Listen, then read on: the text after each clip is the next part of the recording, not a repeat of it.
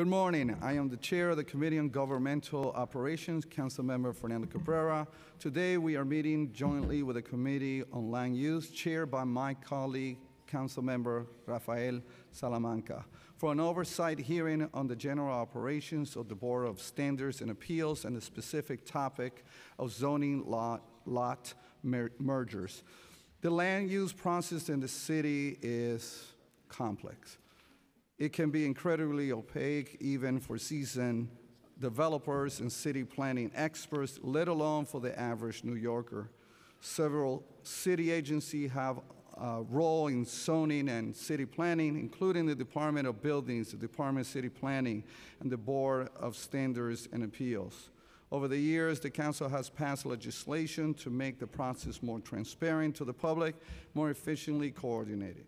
Such legislations include requiring excuse me, requiring notices of expiration of zoning variances and special permits to be shared with community boards, requiring the BSA to respond to community and borough boards when a determination is made contrary to the re- recommendations, requiring biannual reporting on applications for variances and special permits, and online mapping of variances and permits. Today, the committees expect to hear updates from the Board of Standards and Appeals on the transparency legislation that has been enacted today, as well as general information about the board's operation, including the protocols around board members' recusal and the administration of oath.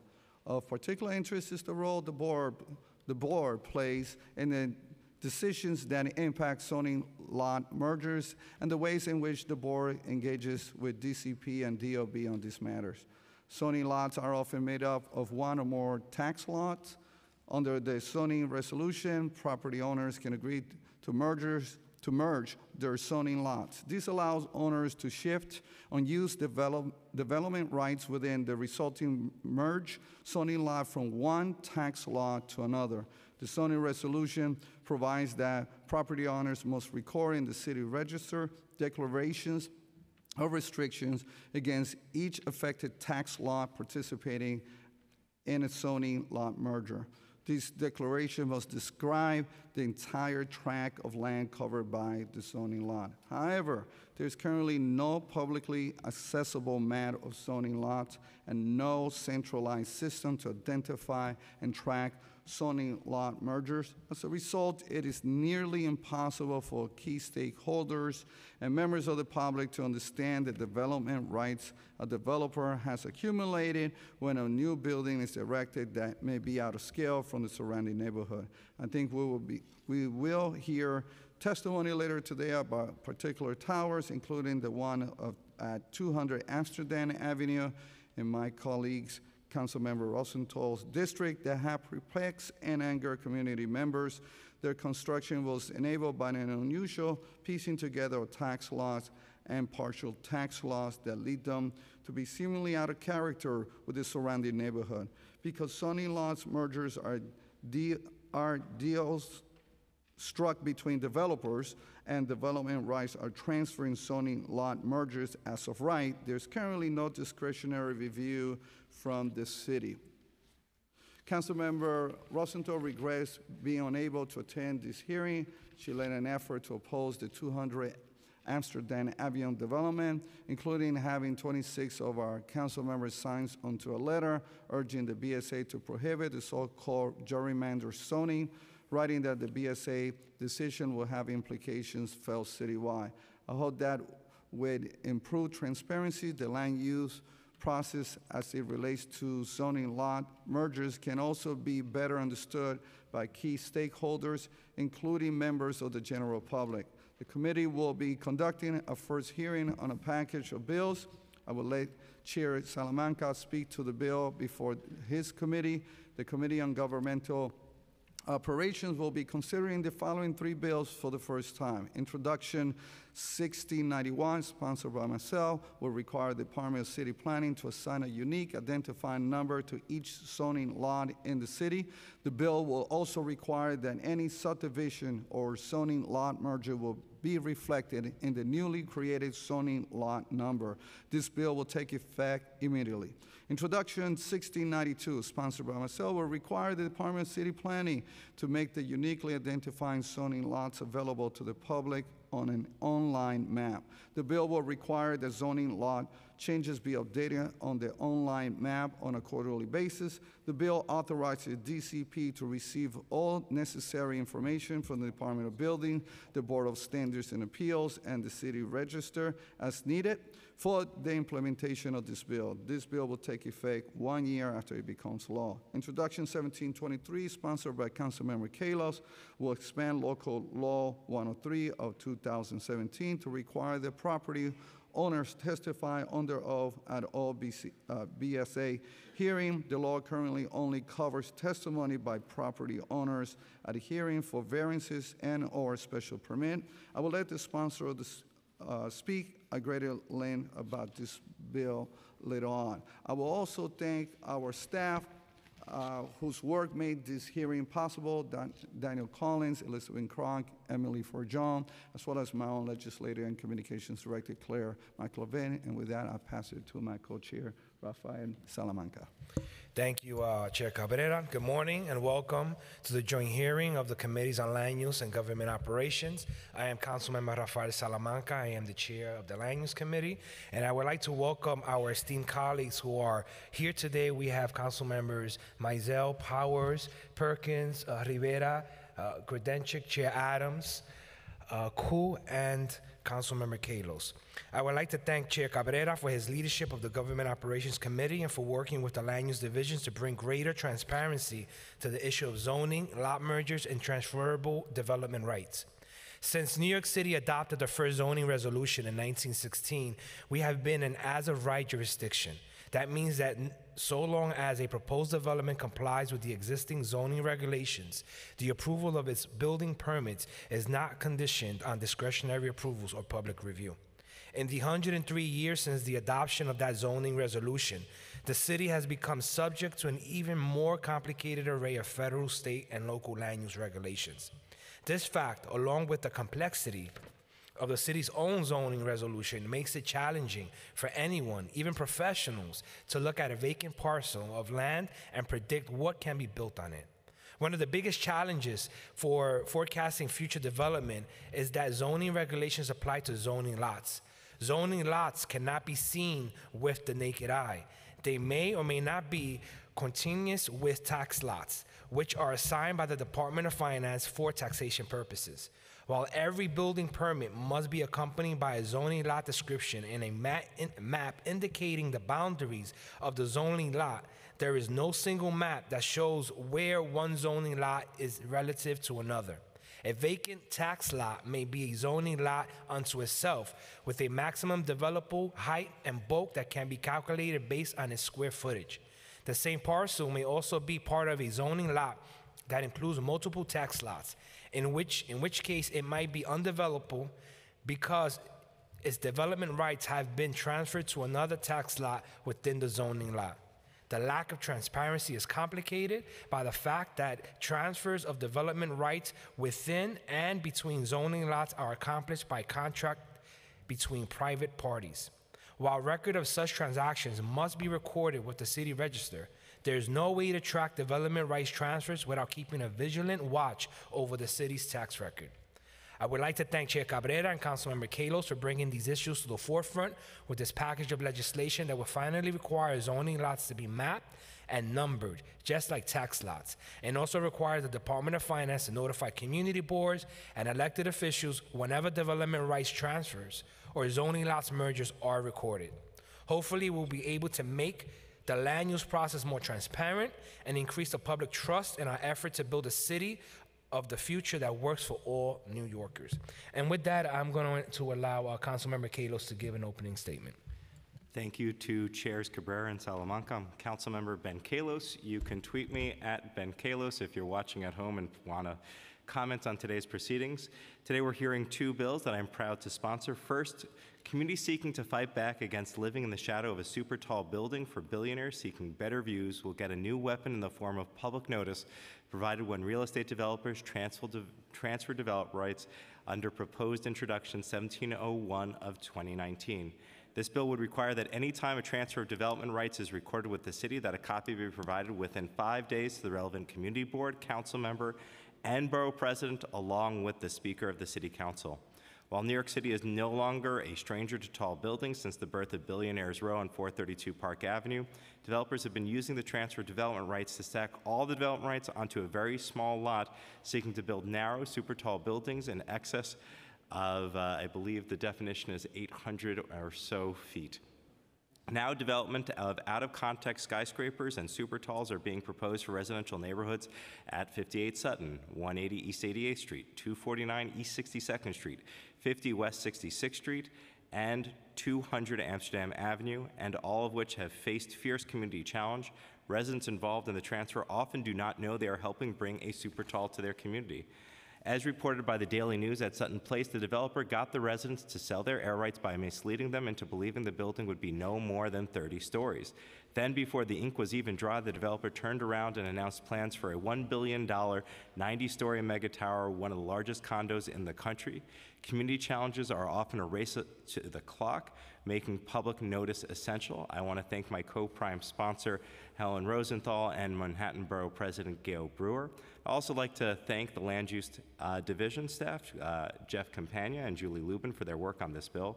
I also want to just take a moment to speak in favor of Councilmember Cabrera's uh, legislation introduction 1691 and 1692. You have no idea how many hours I have spent of my life going through ACRIS filings in order to determine which pieces of property developers owned, what LLC owned which piece of what, the relationship between multiple similarly named LLCs, uh, only to find that in the definition of the zoning lot that was in their red herring and offering plan often didn't even match what was filed with the city at the DOB, let alone match what was filed with the finance department. And so I've been the one trying to actually piece together the actual maps, the DOB maps, and uh, others. And I was helped in doing all of that with by a resident of my district named George James. But the fact is that that is crazy. No one should need to hire a lawyer and an urban planner to figure out what's going on. So I am incredibly supportive of 1691 and 1692. I wish to associate myself with both bills. In 2017, I sponsored and the City Council passed Local Law 103 of 2017, amending the charter to provide that certain testimony delivered at a public hearing must be sworn or affirmed under oath. Specifically, only testimony by an applicant on proposed application to either vary the zoning resolution or for a special permit shall be sworn or affirmed under oath. Local Law 103 also establishes a civil penalty for any person knowingly makes or allows to be made false statements to the BSA. Notwithstanding Local 103, the BSA rules do not require any person who offers testimony to do so under oath. Rather, the rules require only that the person offering testimony must state his or her name, address within affected area, and or representative capacity.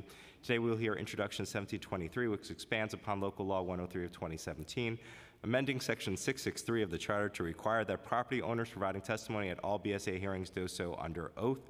The purpose of this introduction is to prevent unscrupulous property owners from providing false information to the BSA, providing, uh, providing board commissioners with accurate information when evaluating an application. I'd like to thank the committee counsel, Daniel Collins, for his work on this bill, as well as Jess Baker and Laura Pupa for their work on this bill and this package of bills the council passed uh, to reform the BSA in 2017. Thank you. All right, thank you, uh, thank you, uh, Councilmember Kallos.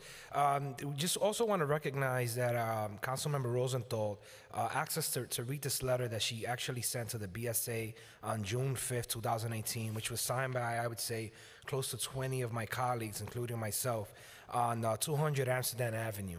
Um, and just want to point out here in the letter, we urge, the, we urge the Board of Standards and Appeals to prohibit the use of gerrymandered zoning lots in the city of New York. The use of gerrymandered lots has significant policy implications for the city. Most fundamentally, we are concerned that divorcing zoning lots from the tax lots on a block will make ensuring compliance with the zoning resolution dramatically more difficult. Rather than working from a set pool of building blocks, lots mergers could now include a nearly unlimited number of variations and without tax lot boundaries for reference. The Department of Buildings itself has come to recognize that the public trust is best served by prohibiting such gerrymandering. It is noted in, in the March 9th letter to the board that having zoning lot lines coincide with tax lot lines promote clarity and transparency. This particular proposal is one is in one council district, but the implications of the board's decision on the land use process will be felt citywide. The board should not reverse the Department of Buildings interpretation. Rather, we urge you to uphold it and ensure a clear and more transparent land use process going forward. Uh, so, with that, I will hand it over to council to uh, to the uh, to the council. And we'll just swear in the agencies present. If you could raise your hand. Do you affirm to tell the truth, the whole truth, and nothing but the truth in your testimony before this committee and to respond honestly to council member questions? You may Oh, begin, okay, so do you want city planning or BSA to begin? however you like. City Planning. Um, Good morning, Chair Cabrera, Chair Salamanca, and members of the Governmental Operations and Land Use Committees. My name is Susan Amron, and I am General Counsel at the Department of City Planning. I am joined by Frank Ruchala, Director of the uh, Department of City Planning Zoning Division. Um, Thank you for the opportunity to testify on introduction numbers 1691, 1692, and 1701. We appreciate the City Council's interest in zoning lots and zoning lot mergers. The Department of City Planning, New York City's primary land use agency, is responsible for planning for the orderly growth and development of the City of New York. It administers the city land use review process, referred to as ULURP, conducts planning studies, and collects statistical and other data that serve as the basis for land use planning recommendations. Department of City Planning staff also aid the City Planning Commission in all matters under its jurisdiction. The City Planning Commission holds regular public hearings and votes on applications concerning use, development, and improvement of real property subject to city regulation. I want to start my testimony by discussing how zoning lots are formed to frame our comments on the proposed legislation. As you know, the zoning resolution governs land development through specific use and bulk regulations applicable largely to zoning lots. For example, as a general matter, development rights are calculated based on the size of a zoning lot and the applicable zoning lot district's floor area ratio. At its simplest, a zoning lot is a tract of land, usually on one block, that is to be developed as a unit. Today, the zoning resolution defines zoning lot in four ways. The first definition is historical and effectively grandfathers any lot of record existing prior to 1961. The other three describe zoning lots formed through common ownership of contiguous lots at specific points in time or through private agreements among owners of contiguous lots. Regardless of how they are formed, zoning lots generally allow the floor area to be arranged anywhere on the zoning lot in any manner consistent with bulk regulations. New zoning lots are created without involvement of the City Planning Commission or the Department of City Planning. Indeed, the transaction among private parties that create new zoning lots are typically accomplished as of right. That is, without discretionary approval of any city agency. City agencies may not know of a private agreement to create a new zoning lot until the landowners want to do something that depends on the establishment of the zoning lot. For example, pulling a permit for a development or engaging in certain types of property transactions. In that situation, when the owner wants a tract of land to be recognized as a new zoning lot, the owner records a zoning lot declaration of restrictions.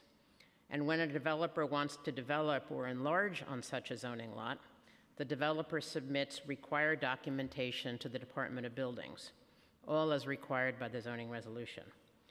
But precisely when a new zoning lot is recorded is largely up to the developer. No development, however, that depends on a new zoning lot is possible until the developer uh, records the zoning lot.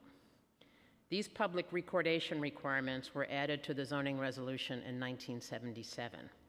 Zoning lots formed before 1977 may or may not be supported by re- uh, readily available documentation.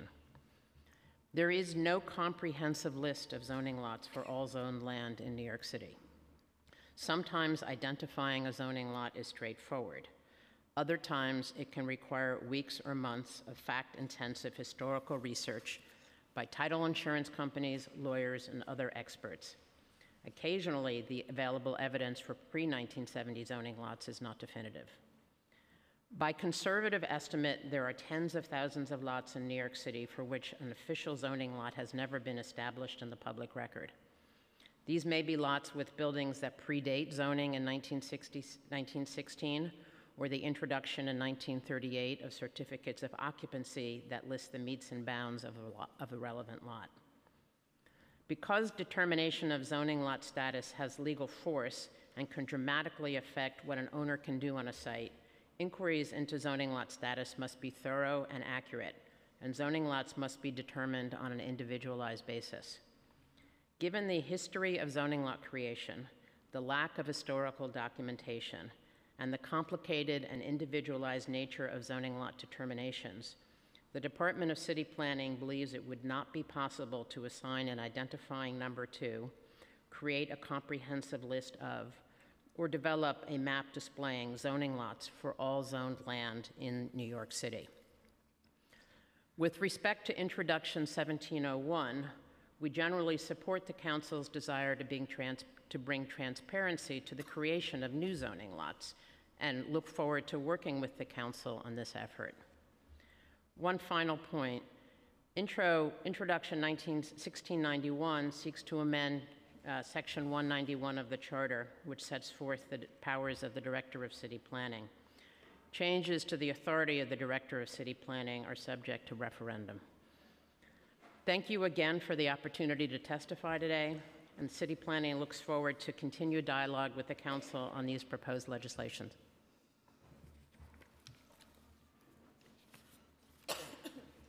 Yes, okay. Good morning, Chair Cabrera, Chair Salamanca, and members of the Governmental Operations and Land Use Committees. I am Margery Perlmutter, Chair of the New York City Board of Standards and Appeals. I have here present several members of my staff uh, for support, including uh, Kurt Steinhaus, who's our General Counsel, and Carlo Costanza, who's our Executive Director. I thank you for the opportunity to testify today. The Board of Standards and Appeals supports introduction number 1723, which would require sworn testimony for all applications before the board because the board already requires most applicants to provide sworn testimony at public hearings. So as a result, I would like to provide a brief background on the board and then take questions. Since 1916, the board has worked to administer zoning, building, and housing regulations in a fair and just manner to protect the city's interest in safeguarding the general welfare while balancing private property interests. In this role, the board has frequently been called a relief valve, a protector of the city's regulations from constitutional challenge, and a guardian of the urban fabric.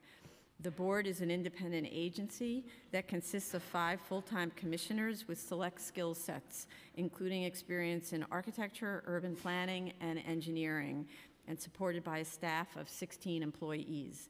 Using their technical expertise and independent judgment, each commissioner scrutinizes every land use application with the utmost of care. Commissioners' review frequently involves analyzing intricate construction documents, financial statements, testimony from other governmental agencies, and site conditions gleaned through, gleaned through visits to the properties and neighborhoods at issue. The board's staff of 16 employees currently manages 103 years of archives and 651 pending applications. Since 1998, the board has had approximately 14,000 applications filed, an average of about 700 applications per year over the past two decades. Under the direction of the board's executive director and deputy director, these 700 applications are reviewed by three full-time project managers, one part-time project manager, and one environmental officer. Second, I would like to note the board's implementation of recent legislation which we discussed at the Governmental Operations Committee hearing on February 25th, 2019, where we went into detail about each of those bills and how the board was implementing each. Um, As you know, in 2017, the City Council passed nine bills relating to the Board of Standards and Appeals and its operation, which were signed into law on May 30th, 2017. These bills address concerns relating to the board's transparency, consideration of community comments, and the veracity of applicants' submissions and testimony. The board has since undertaken a number of initiatives to ensure implementation of the specifics of those bills, as well as taken measures of its own to further promote transparency and community engagement. Last, as I mentioned, we support introduction number 1723. The board already requires applicants and their representatives to affirm their testimony under oath live at hearings for all cases except interpretive appeals, general city law and multiple dwelling law waivers, and vested rights cases. Since the board already requires applicants to be sworn in for these applications, we support intro number 1723, which expands the, the scope of this requirement. I'm happy to take any questions and look forward to hearing ideas about improving the board's processes. Thank you again for the opportunity to testify. Thank you so much. And uh, I want to ask if Mona Sehgal is present from DOB? Uh, If you, could- we- we're going to have a few questions, and let me ask council to swear you in as well.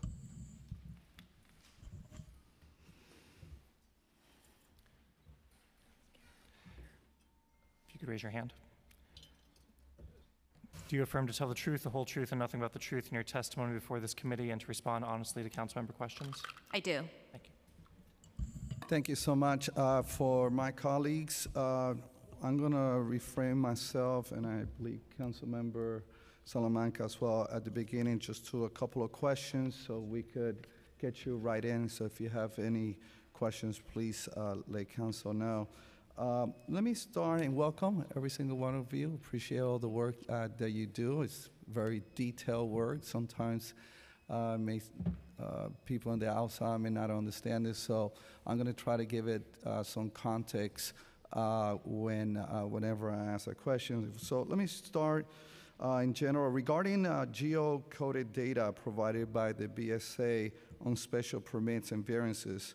Prior to the enactment of Local Law 105 in- in 2017, it was the Governmental Operations Committee understanding that geocoded BSA data will be added as a layer to Zola.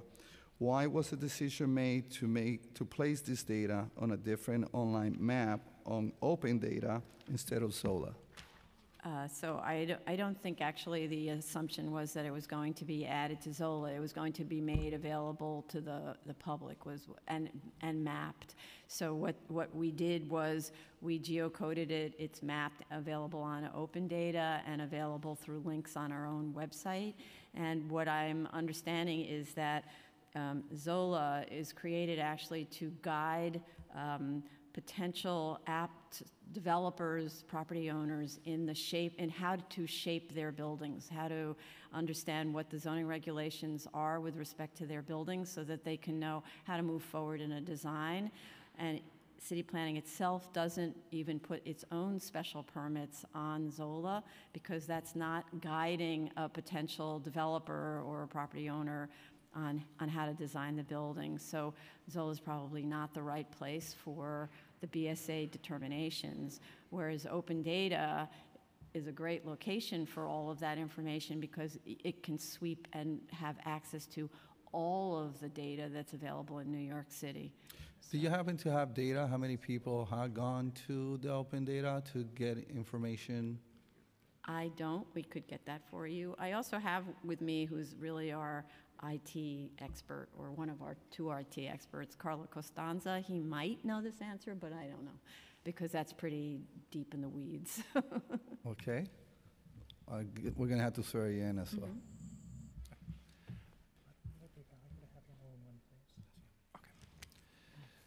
If you could raise your hand. Do you affirm to tell the truth, the whole truth, and nothing but the truth in your testimony before this committee and to respond honestly to council member questions? I do. Good morning, Councilman. I'm sorry, can you just repeat the question? Uh, The question was, uh, do you happen to have data? How many people go to open data uh, to get uh, this information that we were just talking about? Yes, so at the time that the legislation was implemented, we, we uh, provided on both the open data and the open map portal. uh, All of our data with regards to applications filed since 1998 and uh, till the present, as was required. Um, We went beyond the legislation, uh, which only required variances and special permits. We opted to provide everything, both decided and currently active. At, we have approximately 9,700 applications available on both portals. Would it, And what, so we, now we have a- an answer, which is provided by my general Thank you. counsel. There, according to uh, the data set, which is, I guess, the open data, data set information, there were 3,003 views of this data set. okay, that's very good. My, my, my biggest concern, um, I- maybe the word concern is not the appropriate word. My, my suggestion to you is that uh, all the information is in, you know, you find in Zola, wouldn't it be easier to have everything in one place? I mean, Zola is where a lot of developers go, correct? So, so I'll, because uh, and this is really a city planning domain, but I just learned that Zola, and I use Zola all the time myself, but I'm using it to find out what's the zoning, is this site located in a historic district? Um, Where's, can I get to, I can get to the tax map very easily. It has all these very handy links so that I can study that site and see what can be developed on that site. It doesn't have links to what's already developed on the site um, and which is really what we're talking about when we say special permits and variances. So it's arguably not the right place to go for that. Would it, would it be helpful just to even have a link there that would take them to open data just in case? I think Zola already has an open data link, but this is a really a domain of city planning. Okay. We use it, but we don't run it. City planning? Um, So I am informed that um, Zola has a link to um, open data, but, um, you know, city planning maintains different databases for different purposes. Zola has a specific purpose. Um, We have other, um, there are other maps and databases out there that have other purposes, and so our, our understanding is, is that if someone is um, looking to develop or looking for information, they will visit, you know, they can look in a number of different places, um, but there are links between them. I'm gonna come back. I have quite a few questions, but uh, I'm gonna give it to my co-chair, come back uh, after we hear from the colleagues, uh, because I really want to get into the possibility of having uh, the map. Uh, I know it's difficult, uh, but usually I have learned the right, the difficult thing is the right thing. And so with that assumption, let me uh, pass it on to my co-chair. Thank you, uh, Chair Cabrera. I want to recognize that we've also been joined by Chair Moya. Um, thank you for your statement. Um, the representative from the Buildings Department, if on the record, if you can just state your name. My name is Mona Sehgal, Okay. General Counsel at the Department of Buildings. Thank you, thank you. So my question here, um, can you briefly walk us through the BSA's conclusion that a zoning lot can be compromised of a partial tax lot and supporting evidence and arguments that the BSA considered in reaching that conclusion? Uh, I guess the BSA. Ah, so this is, the, the actual subject of this is in active litigation, so I can't speak to this. You, you, you can just speak to, uh, uh, in, in, in general, how, how you get I, to I these can't decisions? because it's for the court to decide the answer. Okay. Um, can you walk us through why the BSA's majority disagreed with the Supreme Court's finding that um, the Department of Buildings currently in, uh, interprets of the zoning lot definition should not apply retroactively? Sorry, is this also related to the same case? Uh, no, this is just a general question. So what's the, I don't know what the question Okay, is referring. to. so can you walk us through why the BSA's majority disagreed with the Supreme Court's findings that the Department of Buildings' current interpretation of the zoning lots definition should not apply retroactively. I believe this has to do with the case that's in litigation, and I can't speak to that.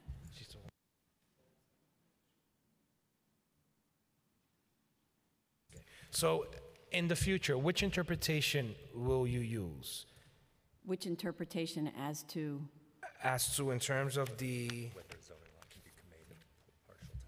Whether a zoning lot can be converted into a partial tax lot.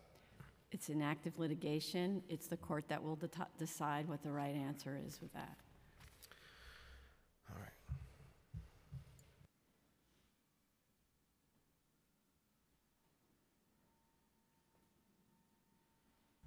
I'm sorry, I'm just trying to get my questions in order because I don't want to Understand, uh, interfere with your, um...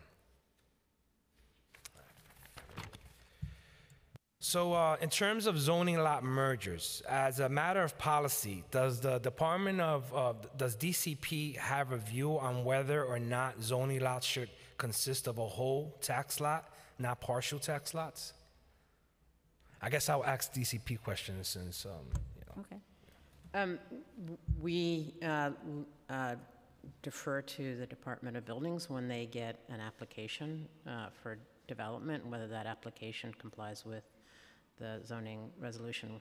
With respect to a specific case, again, um, that, that uh, issue is in, in litigation at the moment. So does requiring that zoning lot, so does requiring that zoning lots be comprised of whole lots promote clarity and transparency for the public, in your opinion?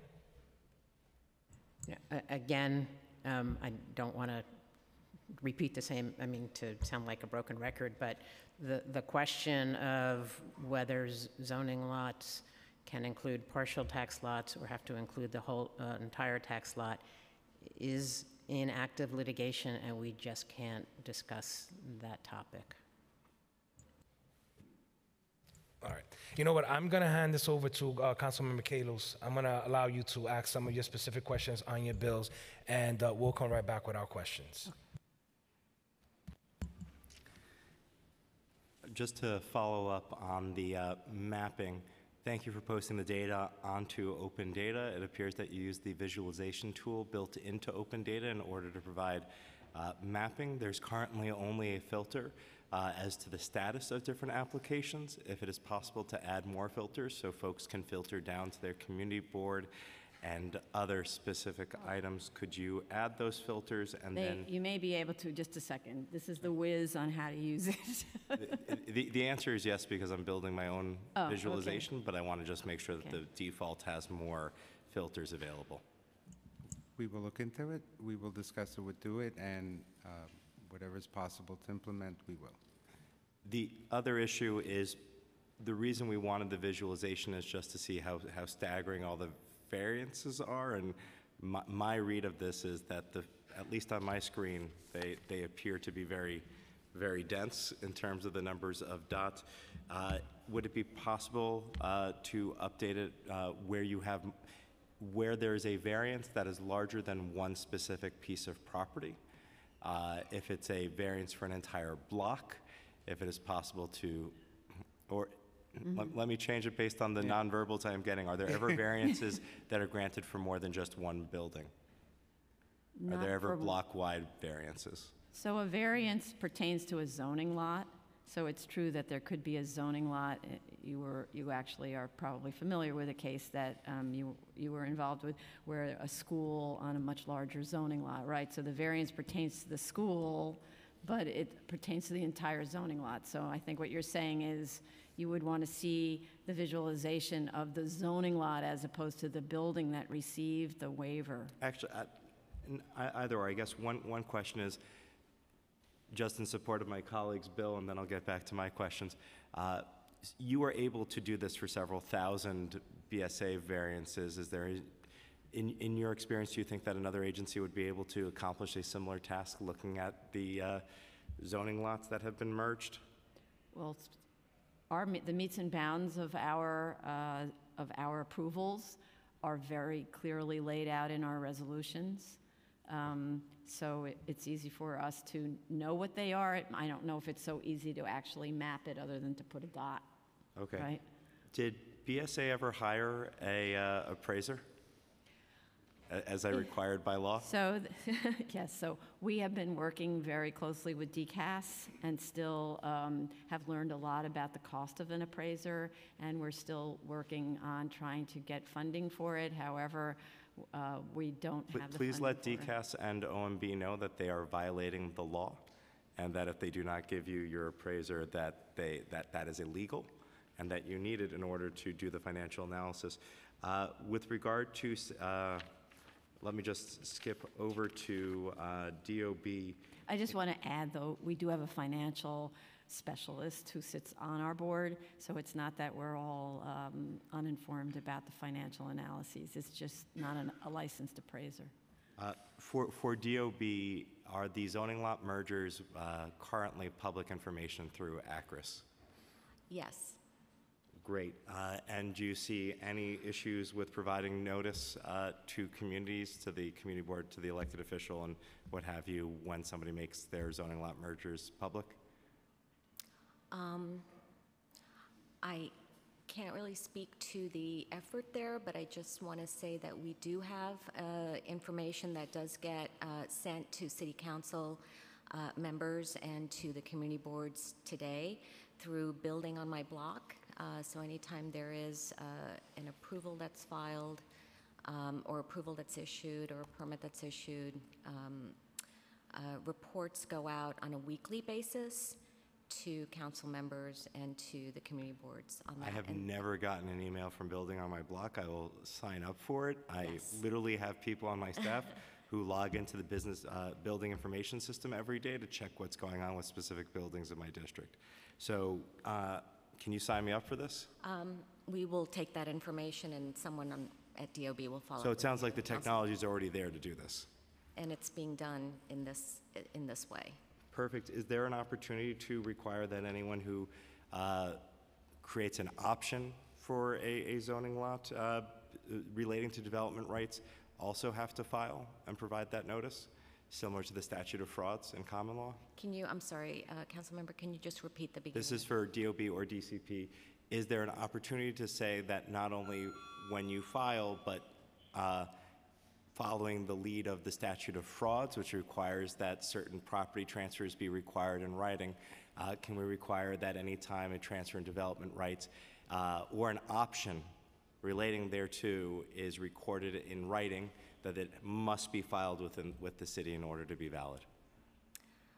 Well, um, I can speak to what the Department of Buildings is um, looking at today under the law, um, and whether or not you can require it legally um, may need to be uh, looked at more closely, uh, so I don't know that I can speak to that. But certainly with respect to what we do today, um, uh, documents that are submitted to DOB come at the time when there is a need for construction document approval for a proposed development or enlargement. And it's at that time that my agency uh, requires documentation about zoning lot, any proposed zoning lot merger or zoning lot merger that may have been previously filed on ACRIS be submitted to DOB to support the uh, zoning calculations for that development or enlargement. If I may have one follow-up question? Uh, At 180 East 88th Street, it so happened that the zoning lots and tax lots hadn't been subdivided as they had said so in their DOB filings, and they were nonetheless approved. How does somebody get an approval for a building when they haven't actually done the zoning lot merger or subdivision yet? Um, So I think you're talking about Third Avenue? Correct. Uh, Okay. Um, uh, If there was, and I can't, I don't recall the specifics of that case, however, to the extent that there was any issue that did come up, um, it was corrected. I, I guess the only concern is just, and again, why I like my colleague's bill so much. It took me and a, an urban planner several hours to find it so that we could raise it to DOB, who had already approved it without the changes. And uh, then it took several months, but there was a corrective action. But DOB is ostensibly the gatekeeper and making sure people follow the laws. Thank you very much. Thank you so much. With that, uh, Councilmember Powers? Thank you. Thanks. Just a few quick questions. I- I, I missed uh, a little bit of the conversation with Councilman Kallos. Are, are, is there an opinion or support or opposition to the, his legislation related to the air rights transfers? I don't think I saw it in the testimony.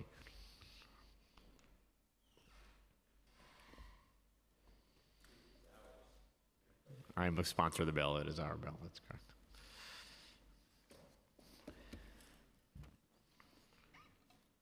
We're just trying to make sure that we are discussing the correct uh, intro number. Okay, The it is correct the bill. legislation that requires notification, and I'll give you the bill number. It is 1701. Okay. Um, We uh, uh, s- support the idea of transparency in creation of zoning lots going forward. There's some details that we would work with the council to, uh, on the bill, um, but generally, we- we uh, are supportive of the bill.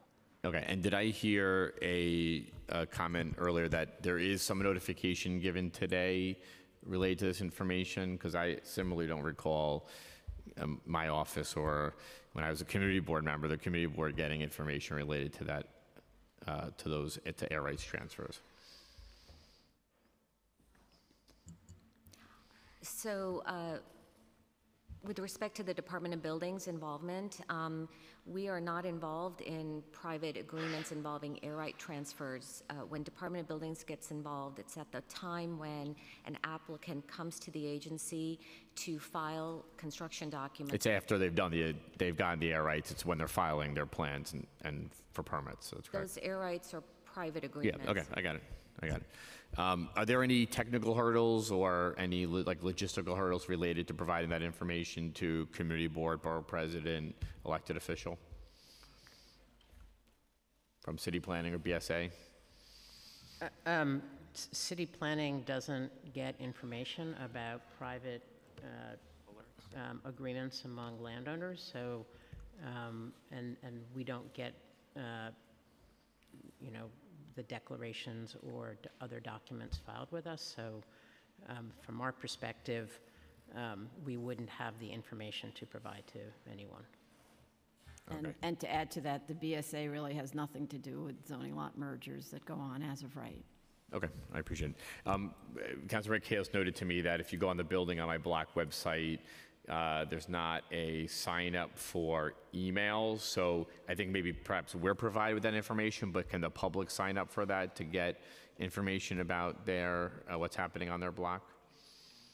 In an email format rather than having to go on manually? All right, So, um, just getting updated, a couple of things. Um, Buildings on my block, you have to go to the website to get that information.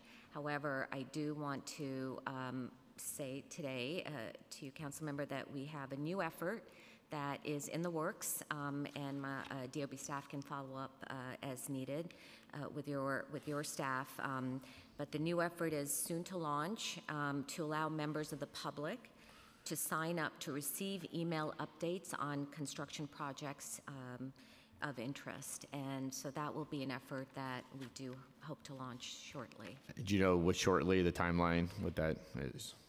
What the timeline is? I'm being told that it would be next month. Next month, okay, that's great, thank you.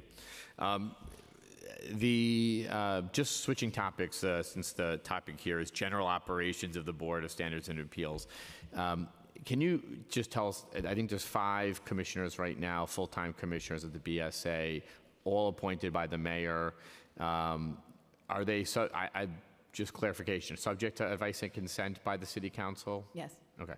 Um, Has there been any, been any discussion, I mean, city planning has appointees from the city council or the borough presidents. Uh, uh, You know, it, it strikes me the mayor has all the power here in terms of appointments to the BSA, which is an appeals process, yet, you know, for council, we have many projects that come through the, B- you know, in our districts, and our communities that come through the BSA. Has there ever been a discussion about in- in expanding the uh, uh, composition or changing who has appointments to the BSA? So if you had participated in the thrilling Charter Revision Commission hearings, you would have seen quite a lot of testimony on this subject or discussion on this subject. Um, I know council members submitted some testimony on Um, that.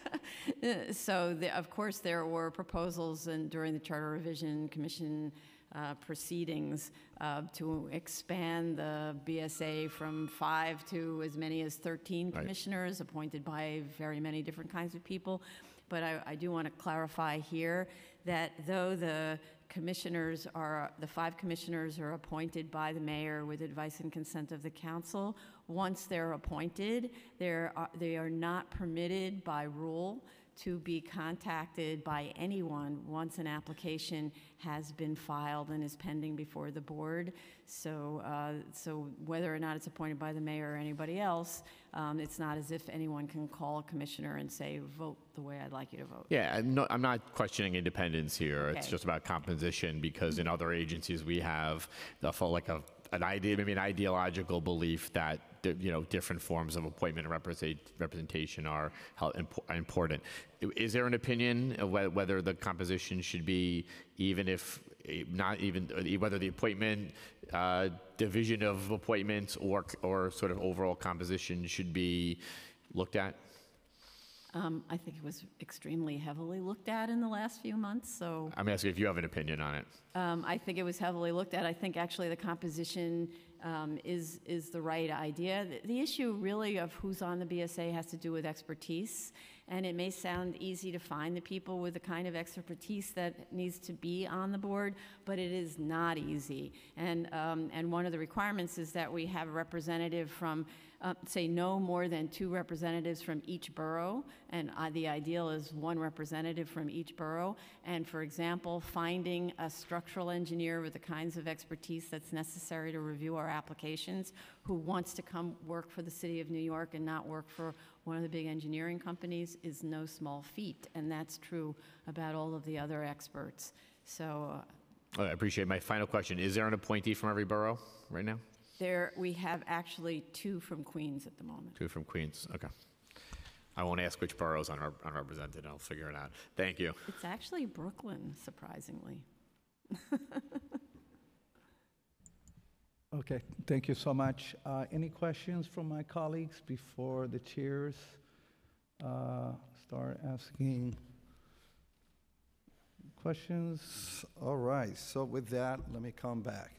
Uh, At the February 25th hearing on the Governmental Operations Committee, the BSA testified that a clerical assistant will be necessary to implement uh, 1095 uh, dash 2018 with regards to expiration notification.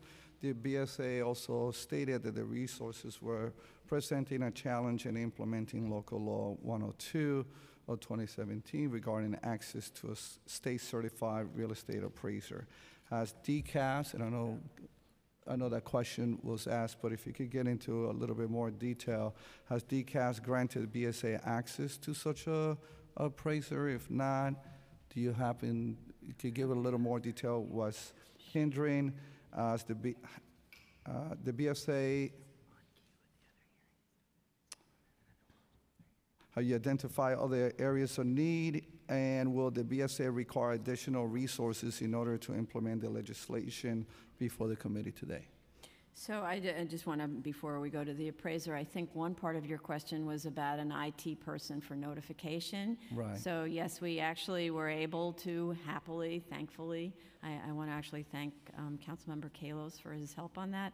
We're able to um, hire an IT person and a compliance officer um, both of whom work on a database now, which will do much more than what the bill is suggesting. The bill suggests that we just notify um, uh, recipients of variances that were granted since 2013. That their variances are about to expire. Um, We don't typically grant variances with terms of years. We've had only three in that time, but we have many other kinds of applications that have terms of years, and we're working on a database that will eventually notify those people that their special permits and other kinds of waivers are about to expire. Um, So we're very thankful for that staff. In terms of the appraiser, um, I, I'm not sure if you're aware of the sort of the, the, the budget situation in the city, but we also have a very tiny staff, and we've You recently really do. lost. Very tiny. Very, very tiny staff that handles about 700 applications a year. And we've recently lost um, some critical staff members. And so, the, in order to keep the place running, we actually have to focus on replacing them first. Uh, so that affects our budget. And then um, the appraiser, as it turns out, is uh, is much more complicated than we realized. Um, we had thought it would be through a contract, but apparently, um, what we had thought of as a contract relationship is not feasible. So under the current structure. So what structure will you have in place in You wanna- order Yeah, to? so Carlos Costanza should Thank you, Carlos. Thank you, Chairman. Yeah, so we, we thought that there were existing uh, contracts already in place that we could perhaps piggyback on. with- yes. We, we've been told, or my understanding is that that's not possible. We would have to put out our own RFP um, to have our own separate contract. Um, When we started gauging what that would cost or what we would get for the monies that have been allocated uh, for this bill, it appears that if we were to get a contract uh, and, and successfully, you know, put out the RFP, have bidders and, and meet the contractual requirements, that we probably would get maybe two to three appraisals out of it. They're very expensive. Um, So then we started to consider perhaps what the feasibility of hiring a licensed appraiser. But um, you know, obviously, we don't have that uh, approval, that PAR in place, and again, for that level of criteria, it's, it's pretty, you know, can be almost at an executive level to have a, a New York State licensed appraiser that would be willing to, to come. So we haven't, um, we haven't engaged that yet. We're scoping it to see what the feasibility is of the possibility. But that's the two options so far that we've had. So when the, what's the next step? I mean, uh, you considering, you looked at the two options, uh, when is, what's the next steps that make sense? And second of all, uh, by when do you foresee, I mean, are, are you, are you kind of in a bind that you have to wait until next June of the new budget? Because what I, what I'm hearing between the line is a funding issue, right? It's the funding and the, you know, the, the prospect of, of finding a candidate that, you know, meets whatever civil service requirement, whatever's Right. available, and what that salary would look like. So, um, you know, to, to meet the criteria of a New York State licensed appraiser that has a certain amount of years of experience, that's, uh, has experience familiar with what our needs are. And again, obviously, if we were to hire someone on staff, um, we'd, you know, utilize that, that employee. you know, What would be the implication of waiting all the way into the next fiscal cycle? So I, I just want to, I, I, a lot of this comes from not actually, I think the bill itself came from not really understanding how the BSA currently operates. One of our commissioners is a very experienced um, financial analyst. She's not a, a licensed appraiser, but we rely very heavily on her analysis of the pro formas that come in. That's actually what's going on. For the few variances that are for-profit variances, in the course of a year, we get maybe 10 or so, is that about right? Yeah, 10, it's about 20? 10. The rest are yeah. typically non-for-profit, schools, uh, Right. single-family homes that don't require a financial finding, uh, Right. financial. uh, So we, so of those 10, we're looking deeply at those financials, but, and so Um, It's not that we're in dire straits. We looked at it instead as a great advantage to have somebody um, on staff who we could ask for other, for sort of data that, that an appraiser has access to, that we don't have access to. Uh, Let me move on to the next question, because I know we have our esteemed uh, Manhattan Borough President who's going to be testifying. Thank you. Gale, you're always amazing. Uh, the- uh, As the board chair, uh, you recu- uh, recuse yourself from voting due to prior connections to a matter before the five-member board. Can you uh, please explain what the board's uh, protocol for recuse? Sure. recusal is, under what circumstances have other members of the board chosen to recuse themselves, and have there been situations where more than one person has recused him or herself, and what happens in those instances? Okay. So in terms of how recusal works, when a board member, um, the, the, the standard rule, that's really the conflict of interest board rule, is that if there is some sort of financial connection to that project, you must recuse. And by a financial connection, it can even be that um, you have some um, either familial or business connection to an applicant, and therefore, if the applicant um, does or doesn't succeed in, in the project, then somehow or other that would affect you personally, right?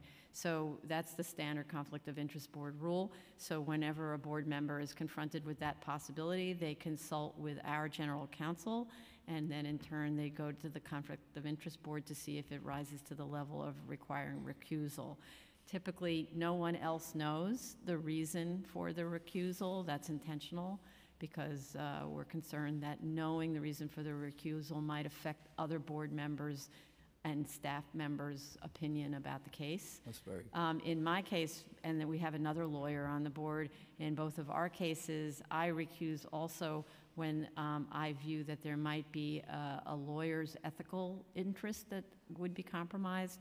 For example, if that was my client and I have special information about that case, then I would recuse, which is different than a conflict of interest board recusal.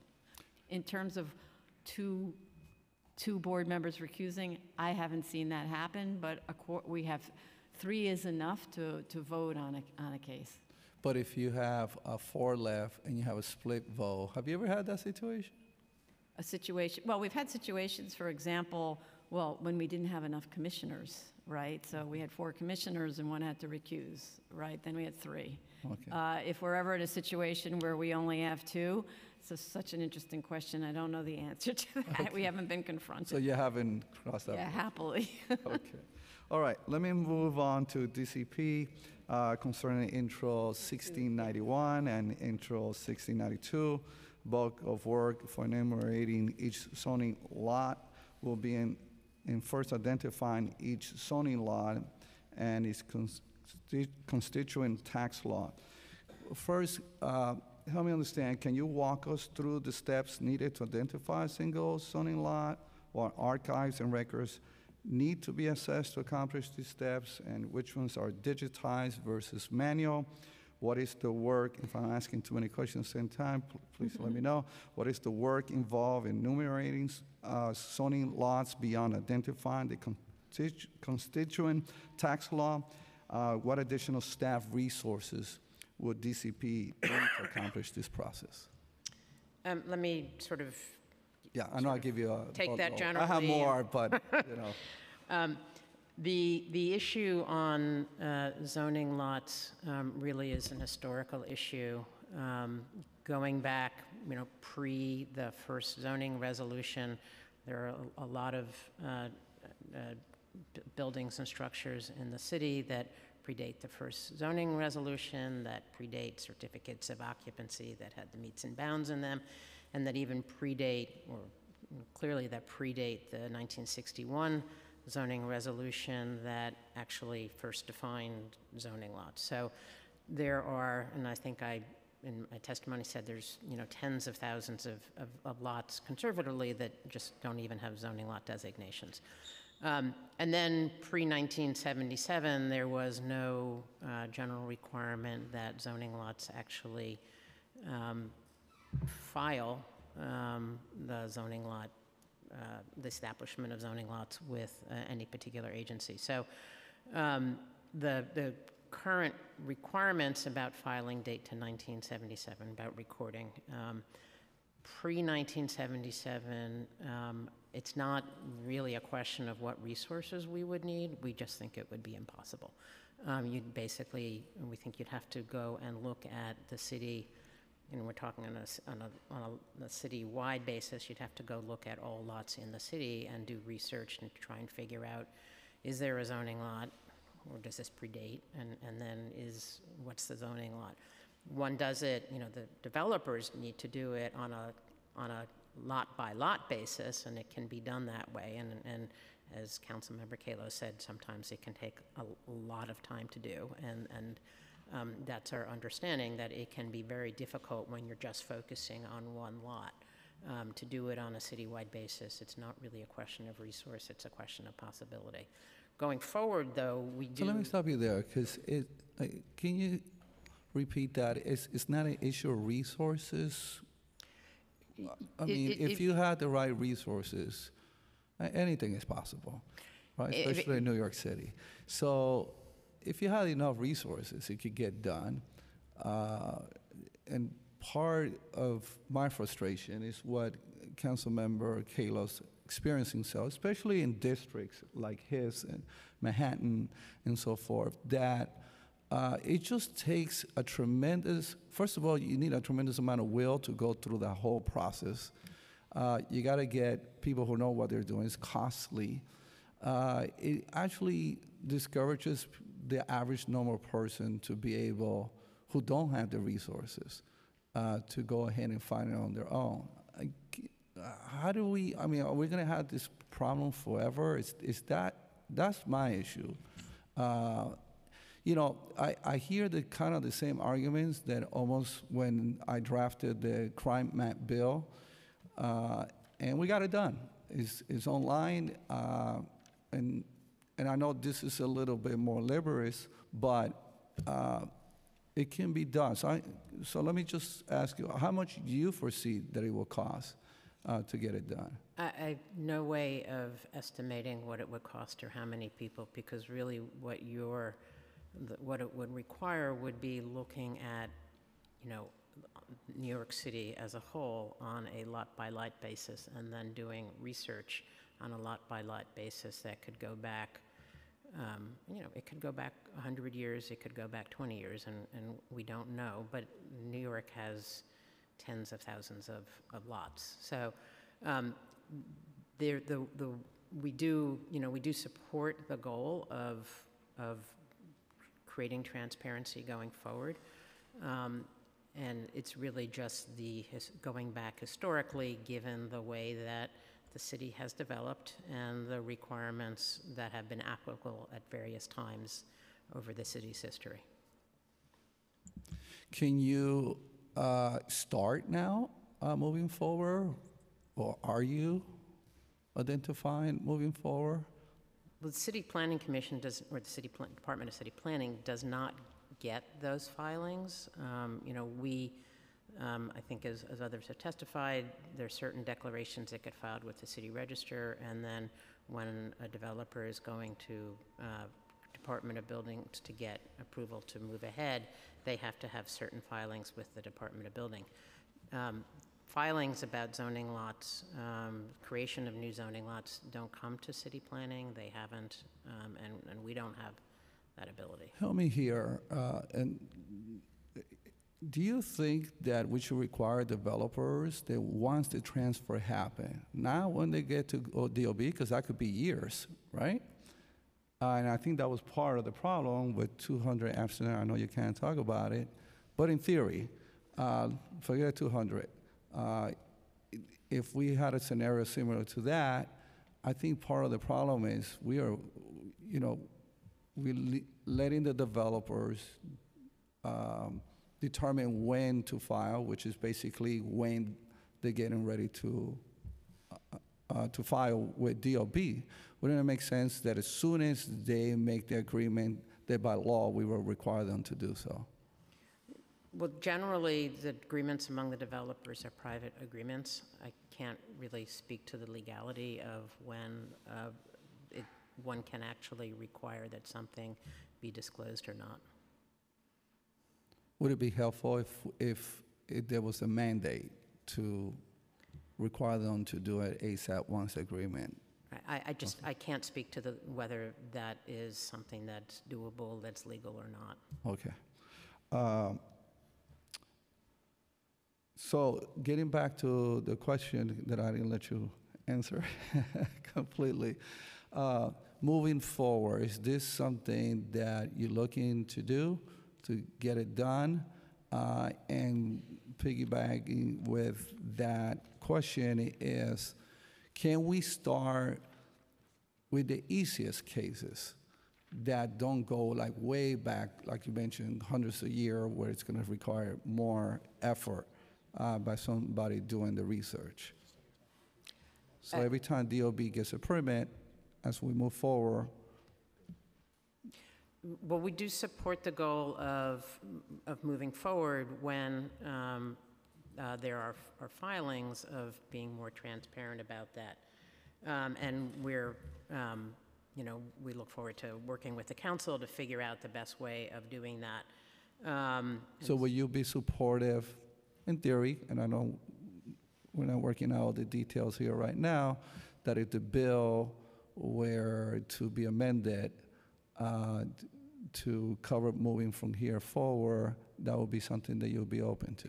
I, I think we would have to talk about the precise details of it with the council, but, um, you know, it's, it's, again, the filings don't come to the Department of City Planning, but as a city, I think the city agencies and the council can w- work together to figure out what the best way of making this happen is.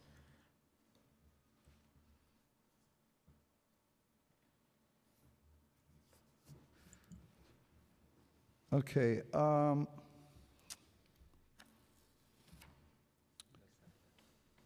Would Intro 1692 as drafted interfere in any way with Zola's existing mapping of tax lot in zoning districts?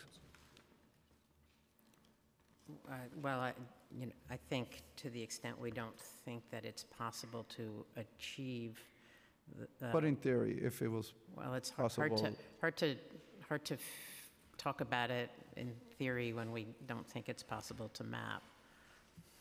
uh, if we were to have the scenario that I just uh, share with you, the possibility of from moving here forward, uh, would there, would there be any, uh, uh, would there be any interference?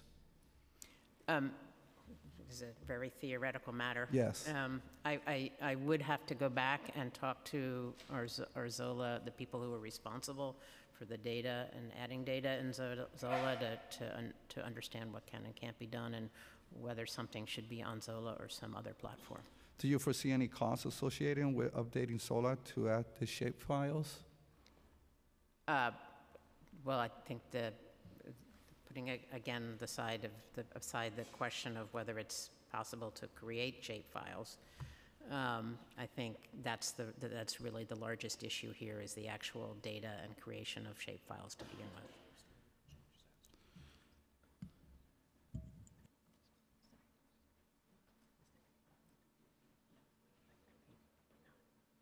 What about adding another layer?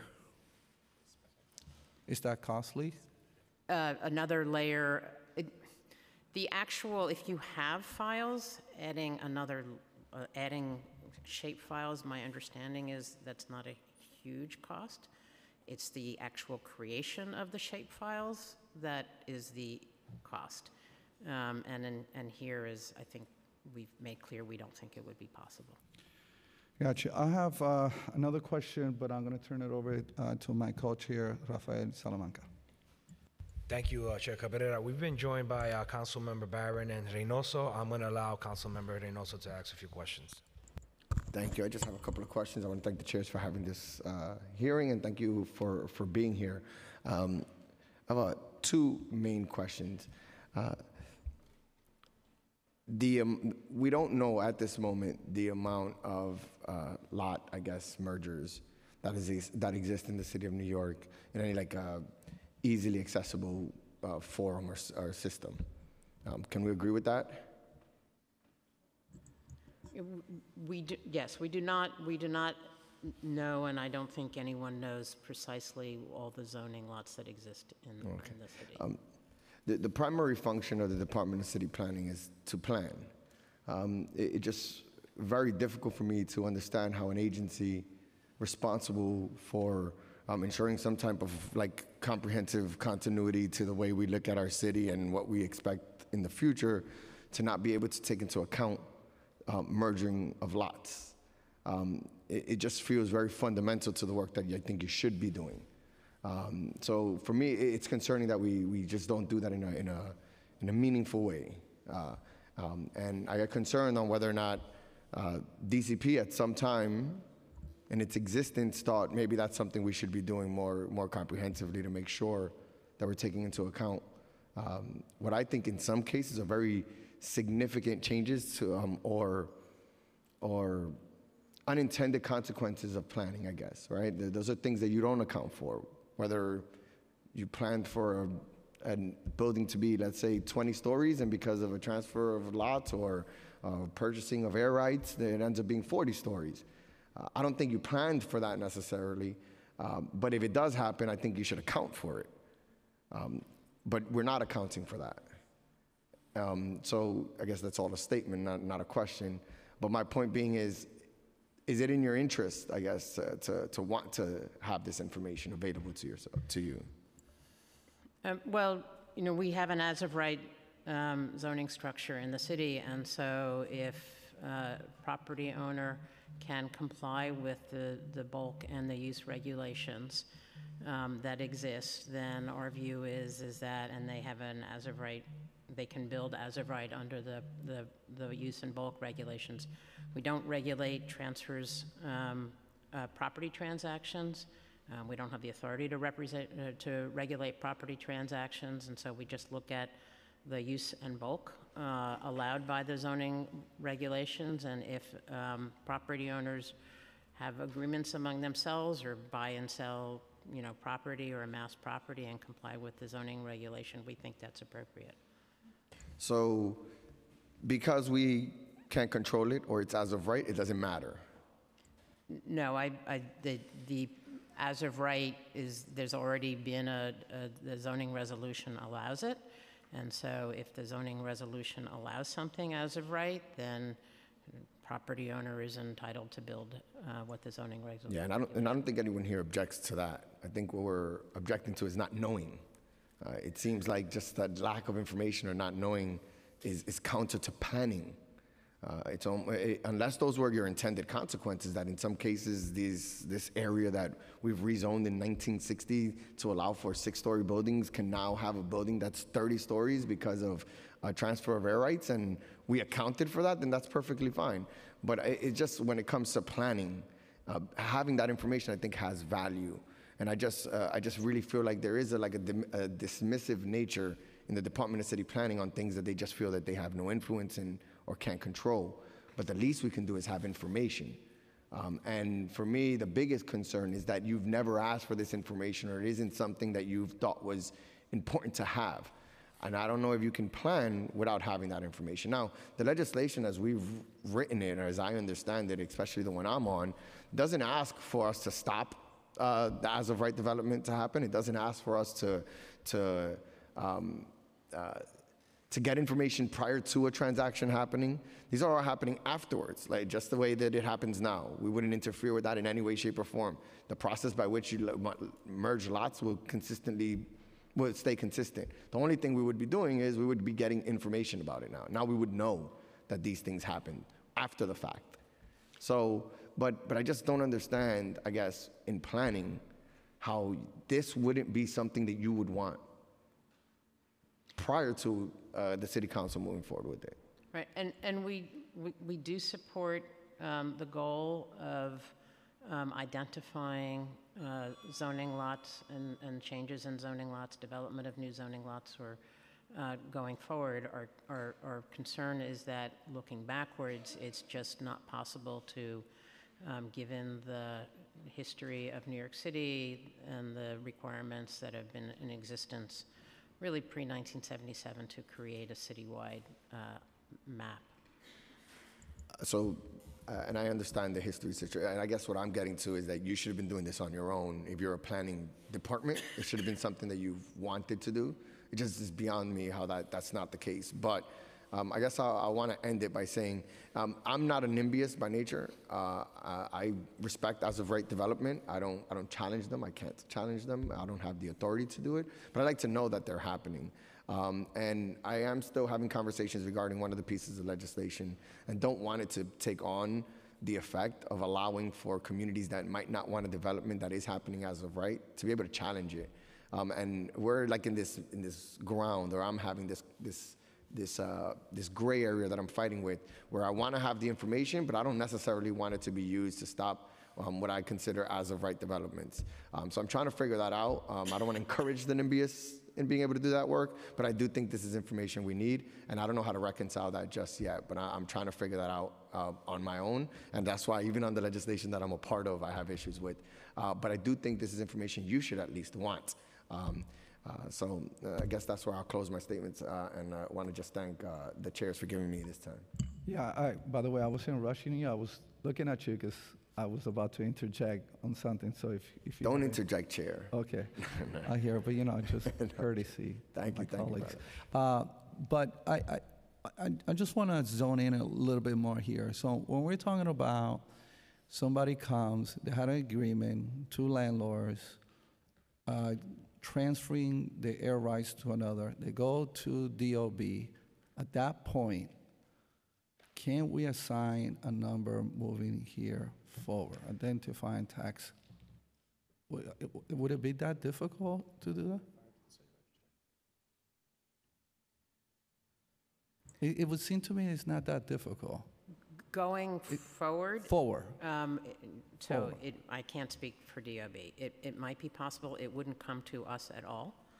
Um, If it's, you know, an as-of-right development, we wouldn't see. Uh, can you repeat that again? I'm sorry, I was, I said, going, f- I'm not speaking for DOB, but for, for city planning, if it's an as-of-right development, it would not come to us at all. so let we me ask wouldn't- DOB then. So we wouldn't be able to do that. Uh, DOB? Um, So, let, oh, so to put this in context, when they come to DOB, they have filed uh, the um, metes and bounds of the proposed zoning lot or zoning lot that they're uh, looking to develop on uh, um, at the city register. And, um, and, um, um, and at that point, um, it's been filed publicly somewhere. They come to DOB and they submit it again. Um, Now, in terms of assigning a number, I, I guess I'm just, I'm not sure uh, how that would work in my agency. It feels like, uh, I don't know, is it, I, I just can't guess to how that would work. Maybe uh, both of your agencies could uh, work, department could work together and try and figure that out. Look, I, I'm trying to find the easiest way moving forward because if we keep doing what we're doing, we're going to end up with the same results. I'm, I'm a firm believer in systems, and what I see is that we have a system in place right now that is just repeating history over and over again. And we, 10 years from now, there's going to be another chair here asking the same question about something that we could have an impact already that is going to be helpful to our constituents and to everyone who is trying to get this uh, type of information that is going to save time. It saves you time as well from people knocking on your doors. Uh, looking for answers, asking questions. Uh, at the end of the day, I would see that it will be profitable to uh, to you as well. And so uh, it would seem to me that uh, that is logical and reasonable, and it doesn't take a lot of effort. As a matter of fact, let me go a little deeper. Every time that we have, and you will have to identify what that is, anything that they come to you for, uh, not just in that case. Uh, you know, study situation, uh, that it will make sense uh, whenever it's feasible to assign, you know, the number. So that way we could start moving forward and, and being productive. Uh, Can you give me one second?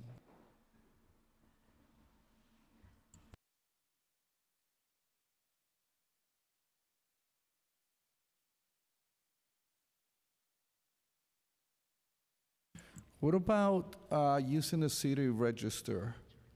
Would that be whenever something is filed, Department of Finance? Anybody here from the Department of Finance? I think uh, Ned Hill. Annette, how are you? Can you please come? I'm going to swear you in real quickly.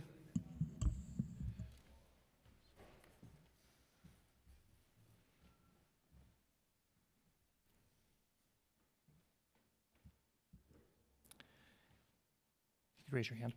Do you affirm to tell the truth, the whole truth, and nothing but the truth in your testimony before this committee and to respond honestly to council member questions? And if you could please identify yourself. Annette Hill, City Register.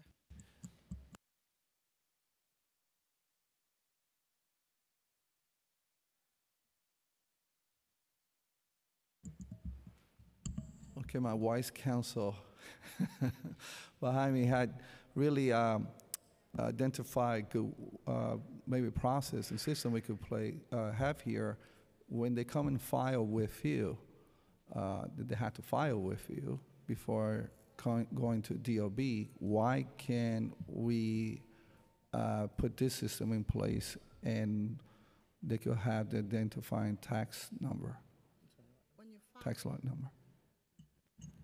When a filing is done, it has to be done on a tax lot that exists already, and they usually come, uh, development rights usually come in a deed form. It, you can't separate it out, so it would be difficult to separate it out, out of a deed. But can you, can you put a process that is parallel with that to make it happen? We would have to have them recorded separately out, and a, a development rights on air rights does not have a tax lot associated with it. So it has to be, it has to be on a tax lot that exists already. So you can't have it separated out f- from the deed form, Why? because it does not have a lot number assigned to the air rights separately. It has to be on a tax lot that exists already. Uh, Look, maybe, may- may- let me reframe it this way. There's, there's a lot of, we have a lot of experience right here in this panel, uh, years that actually precedes me. I, I, I, it's my estimation. And I know we could figure this out. My concern is the way we're doing it right now, we're gonna keep getting same result with the same frustration coming year after year, and we're gonna get the same answers. I'm trying to, please help me figure out uh, in a collective way right here to all the panelists here representing the administration, how can we make this happen moving forward? Uh, it would just seem to me that, you know, I, I'm a big believer in systems. Systems, I- I'm more of a believer in systems than goals because you could never get to your goal unless you have a system in place. So, is there a way, and you don't have to come out with a magic answer right now, but can you help? Let's work together, and then to find a process to make it happen. I know I'm putting you on a spot, asking right now to come up with something that's never done before, and uh, and I know there's always this hesitation of committing to something, right? But I, I'm coming in good faith here to try to figure out, not to get this I got you kind of attitude. How can we come up with something that really works for everyone, including uh, all of your agencies? Okay, well, something we would like to have to explore, um, some more conversation with council as well if wit- within the finances, how we could make that happen. Okay. We need further conversation on it. Thank you. Thank you uh, for uh, all of you being open-minded. Let me uh, give it back to my co-chair. Thank you, uh, thank you, Chair Cabrera. Uh, I want to recognize that we've been joined by Councilmember Yeger, and Councilmember Yeger, we'll give you five minutes. Thank you, Mr. Chair. Mr. Chair, uh, good morning. Um, First, uh, I just wanted to ask of DCP, um, I I actually agree with some of your objections to, uh, to the uh, retroactive recordation um, understanding that it's complicated because so many of these uh, zoning law changes are either by private agreement or have been recorded in the city register, and there's no kind of master book that you can go to without actually doing years and years of research to go through every single lot and see what it currently is linked to. So I understand that. And moving forward, I think it would be a good idea to have a master list. But I, I do have a question about uh, your second to last paragraph of your testimony, and I apologize that I've been in and out, but I have another hearing next door. Um, uh, you indicate that uh, you represent to us that Intro 1691 uh, would change the city charter in such a fashion that it would be required to have a referendum. Uh, my understanding of the charter and the limitations on the council to amend the charter, we do it all the time here, is that uh, uh, we can't curtail an authority that the charter has given to the other branch of government, but we surely, I believe, can assign a task to an agency, um, whether that agency likes it or not, notwithstanding, uh, particularly in light of that section uh, then currently numbered 11 uh, in, the, in the section that you're referring to says, perform such other functions as or assigned to him or her by the mayor or other provisions of law. We have the ability to assign you a task. Um, if you don't want to do it, I guess that's okay. You don't have to. Most agencies don't do what we tell them anyway, so that's cool. But um, I, I, I would just respectfully differ with your legal interpretation of the restrictions on this council to assign a task to a city agency. Uh, that's not a question, that's just a statement, and um, I'll move on from that. But I do agree that retroactive recordation and creating this master list is problematic, and I understand the conundrum that, that you find uh, and how it would be difficult to comply if it's meant to go retroactive. Um, I have a question for the chair of the BSA. It's good to see you again, ma'am. Um, I, I, uh, during your conversation with Councilman Powers, um, you indicated something which I've heard before, is that by rule of your agency, nobody can talk to any commissioner during any time. Not, not any time. once an application has been Once an application is, in- what does that mean exactly? So, Does that mean that I can't pick up the phone and call a member of the Board of Standards and Appeals? Correct. By whose authority do you promulgate a rule that says that a government official paid by the City of New York can't be called by a legislator here in the City of New York, or by the Commissioner of the Police Department in the City of New York, or by anybody else? By whose authority do we promulgate a rule? I would That's- need, I'd And, need and is it enforceable? I assume that you believe that the rules promulgated by the board are enforceable, but um, is, do you know of any other agency that has a rule that says that, uh, that other government officials, I'm not saying that, that the guy on the number four train can knock on the door of your house and start asking you questions about an application. I don't know if he can or can't. I'm not talking about that. I'm talking about your colleagues in government So, do I know of any other agency?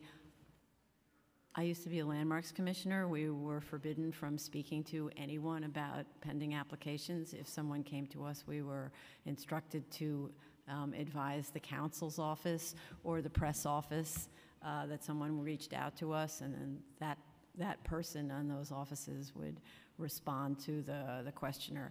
So the reason that we created that rule was really to formalize our existing practice, which was to not allow any commissioners to speak to anyone outside um, of our own agency um, about a pending application so as to keep their review and opinions um, purely uh, focused on the record before them as opposed to influenced by anyone who might have had ex parte communications because all of our uh, review is based on the testimony that's either submitted in writing or given to us at a public hearing. So it's to keep the review process very clean. And that's something that the board has practiced for, I actually don't know how long, but, um, and this was just really to formalize it i- by rulemaking, and that's, that's why. Are the commissioners banned from reading newspapers? No, Of course, they're not banned from. Why not? but- We do that with jurors during the pending uh, They're not banned from deliberation. reading Well, that would be a great idea. and So, it th- would but be- that's different, so that's more similar to public testimony. So when we know a community is opposed to a project, they come and they give testimony, usually quite detailed, and more than that, they also submit testimony. So that's quite a different thing than a personal phone call where we don't know what the context of the phone call is, where it might be a threat, it might be something else, um, and so we just want to avoid that entirely. It makes it just a lot cleaner. Do you have a list of streets that commissioners are not allowed to drive down on a Why- regular? Why? just in case there's a- No, so site inspections and so on are something that's done regularly by commissioners. But that's not part of the public record unless you decide to enter it into the public record. No, record. it is actually part of the public record. Uh, th- I said, the second part of my sentence Oh. was, was, it's not part of the public record unless you decide to enter it into the public record. But if one of the commissioners decides to drive down East whatever street and take a look at a building, it's only if the, that commissioner decides to enter his or her observations into the matter, uh, into the public record, that it becomes public record. Otherwise, it's just what he or she saw, and then she goes to the movies. So, I mean, I'm, uh, my point is that you, you're, you're uh, attempting to limit one and wisely, it's a broad, it's a broad uh, limitation, but you're attempting to limit one method by which people may affirmatively reach out, but you're not locking off the board from receiving extraneous information.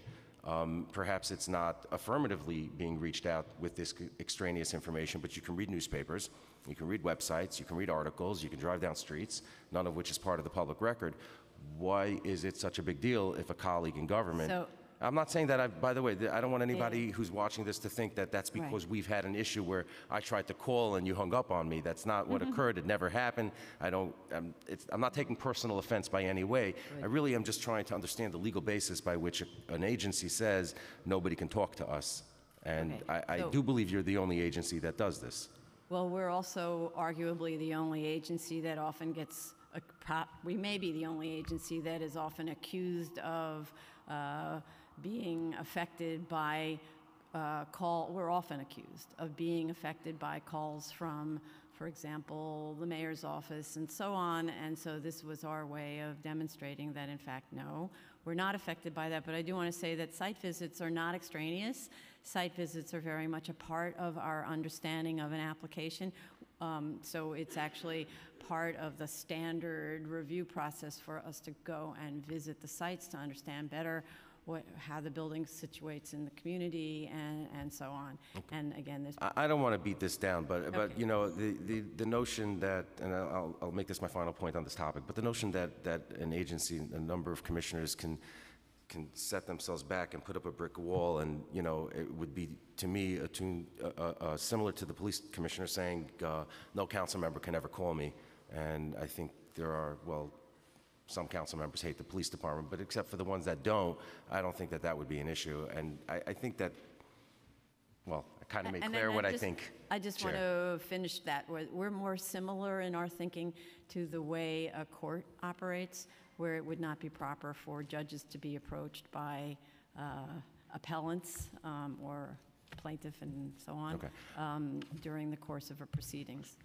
I, I want to ask a, a question about uh, intro. I know you support it, and, and I'm actually, I don't, I don't really care either way. I assume most people tell the truth. Um, That's, and I don't know why we bother swearing people in here in the council. I think that's ridiculous. But uh, do you find, uh, with regard to intro 1723, do you find a lot of lying going on in your agency? People come there and they just lie right and left? Um, I would just have to say it depends. uh, we, uh, and I just want to, my counsel just showed me that um, administrative ju- law judges are also um, prohibited from ex parte They have that funny word in their title, right? Judge. Well, we're quasi judicial agency. Quasi. So Also funny word. there's the quasi part, that's the judicial part, and that's what we go on. Right, well, you're But, um, commissioners. in- In terms of the, uh, we we occasionally have, so we do now swear most of the people in who come to uh, um, appear before us. Um, And uh, in that process, which I found quite helpful, frankly, because um, they actually, right at the beginning of their testimony, raise their hands and swear. Um, And then I can say to them, you're under oath, are you sure you want to hold to that statement? And we have caught actually applicants in misstatements, whether they were lies is another subject, but let's just say misstatements. Um, we, when we've caught them, we've tried to get them to change their position, and when they don't change their position and we believe they are misrepresenting, we report them to the Department of Investigation, and we, we, we say at the hearing that we believe uh, we have some issues with the veracity and may take this up further. So, um, does it happen a lot? It actually depends on the type of application. All right, thank you very much. Thank much. you We very have to much, Move on. Madam Thank you. uh, Thank you, Mr. Thank Chair. you, thank you, uh, council member. Um, I just have one last question, um, and then we're going to go on to the next panel. Uh, Department of Buildings, all right? Um, you know, I'm trying to get a straight up answer, and I feel like I'm not getting it from this hearing. If a developer comes into the Department of Buildings today to pull a permit on a zoning lot that is comprised of a partial tax lots, okay, that's comprised of partial tax lots, all right, with an S. Will the Department of Buildings approve or disapprove that permit, assuming that no individual tax lot has enough FAR to build that building? So this is again, um, I, I appreciate the question, and um, this is again, um, What will the Department of Buildings do? Directly- Would you give him that permit or you won't give him that permit? That's the answer that I'm trying to get from you. Let Or me will you just- wait? Let me just answer it in this way, Couns- uh, Ch- Chair. Um, uh, i- In, in light of the ongoing litigation, uh, the, um, uh, we have uh, not revised um, uh, our existing um, uh, memos on this, and so we would have to take a look at an issue if it were to come, um, come to us, but at this point, because of the litigation, I really can't speak any further on that point unless I have a specific matter. So, so all future applicants that are trying to go through this process, you're putting them on hold because of this pending litigation? I would need to know if there is a future applicant uh, in place today. I just can't speak to it hypothetically. So you don't know if there's any future applicants. Do you I'm have applications on hold because you're, you're, you're, this is this pending litigation matter? Not that I'm aware of. Just want to ask you, is this, is, is it typical for people to uh, have these applications? Do you get like one a year, 10, 20, 30? That's a general question. Um, I don't know the answer to that personally. Can you get us that answer? I- Yes, we will. I know look you have into very that good Get you data people. A general, Appreciate general it. answer on that. Thank you. Can, and can you get us, can you get us the, the number of permits that are pending for these mergers? Do you have that information? Um, I don't have it Okay. with me, but I can certainly ask if we can get that information. Okay, all right. Um, and then, uh, Okay, I'm, I'm being asked to uh, ask you, if- I may, for a clarification. Are you asking specifically for permits that may be pen, applications that are pending that involve parts of tax lots and zoning lots? Is that your question? yes. Thank you. Yes, yes. Okay. Um, and then, if- I promise this is the final one. When a zoning lot is merged, when does it take effect? When it is recorded in ACRIS, or when the buildings depart, or when the owner um, pulls a, a building permit to build on that lot? Um, So the zoning resolution um, allows for declarations to be filed, um, or requires that uh, these documents be filed uh, in the city register, and at the time they're filed, uh, they can in fact constitute a zoning lot. However, development cannot proceed on that zoning lot until they file with DOB. Um, And to the extent that, you know, if there's an issue, certainly we would raise it, but if there's no issue, that technically speaking, it could happen at the time of filing on ACRIS. Okay. Well, I want to thank the panel for testifying today. I really appreciate it. And uh, we're going to bring up our next panel. Uh, we're going to start with uh, the Manhattan Borough President, Gale Brewer.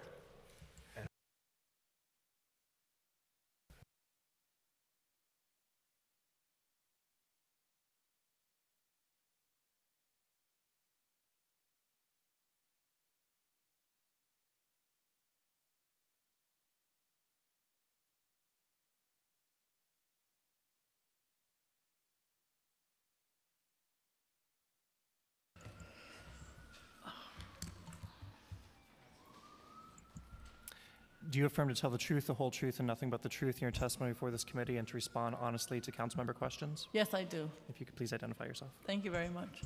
Um, I am Gale Brewer, Manhattan Borough President. I want to thank Chair Cabrera and Chair Salamanca and all the members of the Land Use and Government Operations Committee. These are very special committees to me, so I appreciate being here.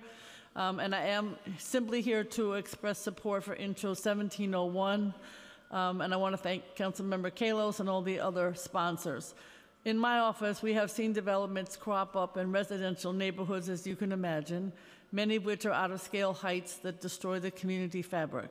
And often the question is how did this building get so large, so big?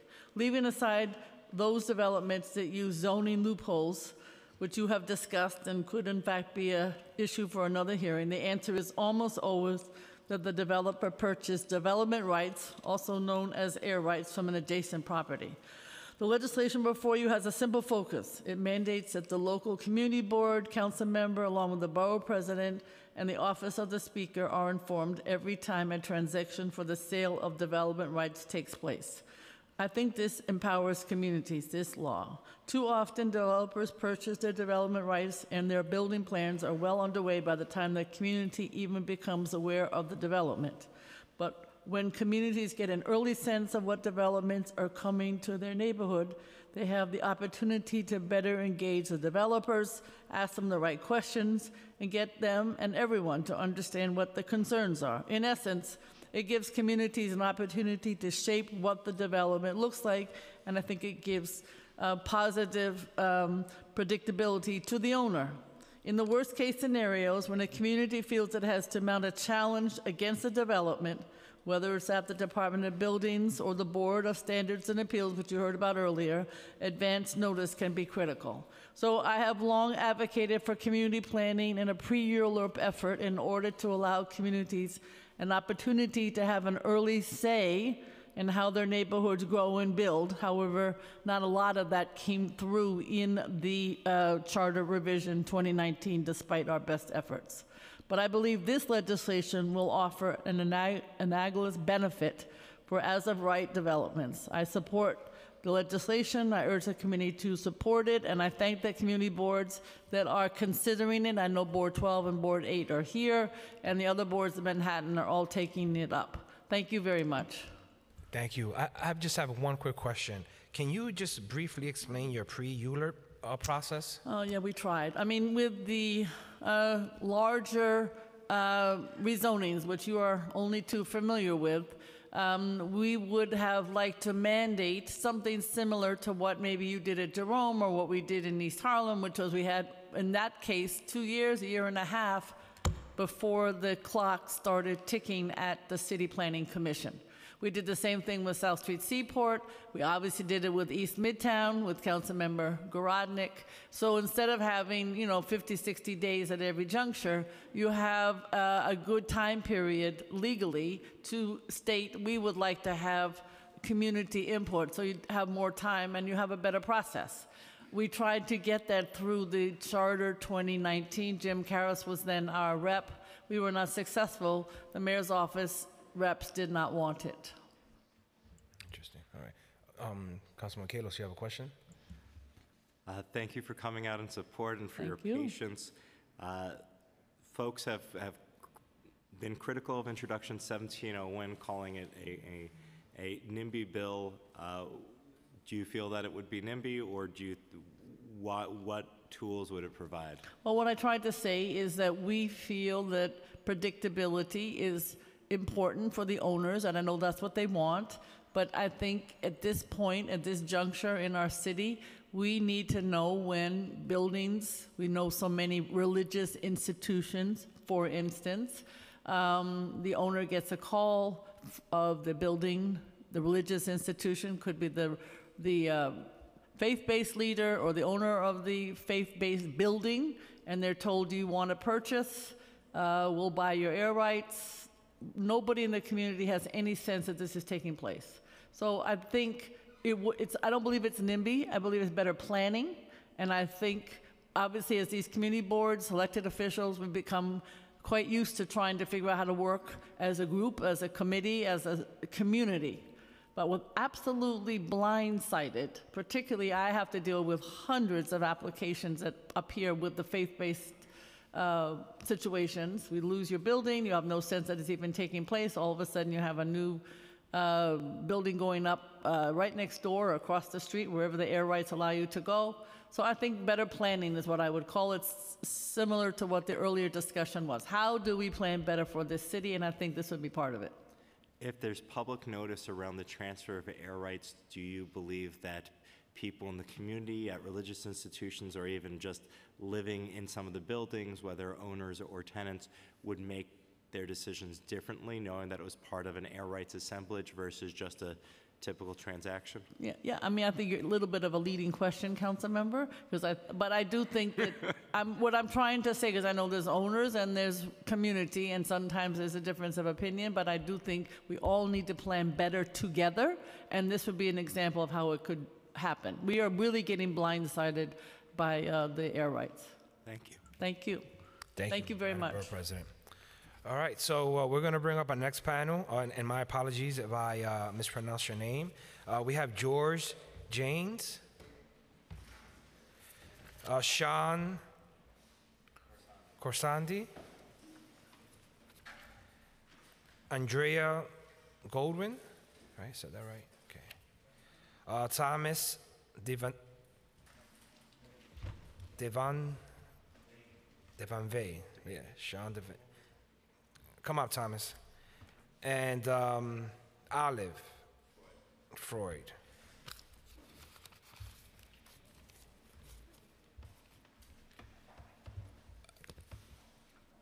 And we're going to ask the Sergeant at Arms to give them two minutes each.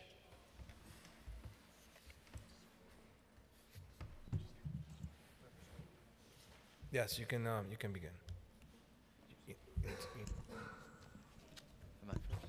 Okay. Yeah, we can start from the right. Yes.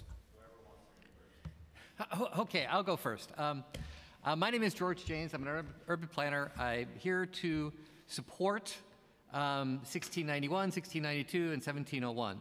Um, I have prepared testimony. I have a lot of testimony written that I've, I've given to the uh, Sergeant at Arms to pass around, but I'm going to uh, actually break from it to respond to some things I heard today. Um, Councilmember Reynoso asked if it would be in DCP's interest to have this, and I will answer this definitively. It would absolutely be in, in, in DCP's interest to have this. Um, whenever you do an EIS, I'm going to just pick one. Whenever you do an EIS, you have to do a reasonable worst case development scenario. Um, and uh, you know, so you have to go through and look at what's going to happen uh, in the area, just as of right. And so, for instance, in the Sutton Place rezoning that just happened recently, um, there is a soft site that is in the reasonable worst case development scenario that has a 500 foot building on it.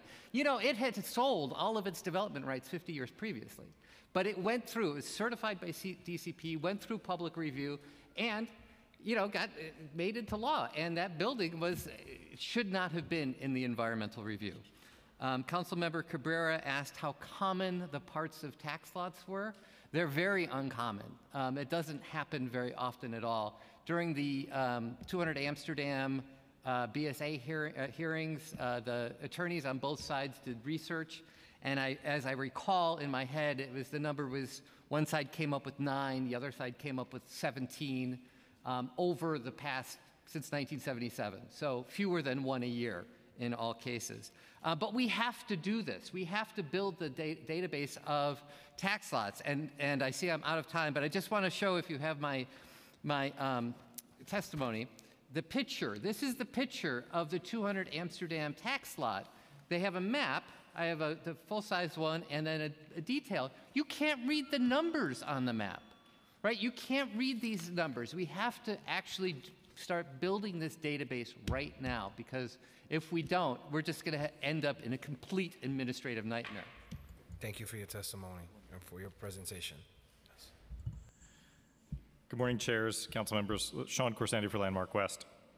Landmark West finds the proposed legislation to daylight the transfer of development rights a welcome change to an unnecessarily opaque procedure, one that too often a neighborhood only learns of when a development creeps far above its surrounding context, months and sometimes years into the construction process.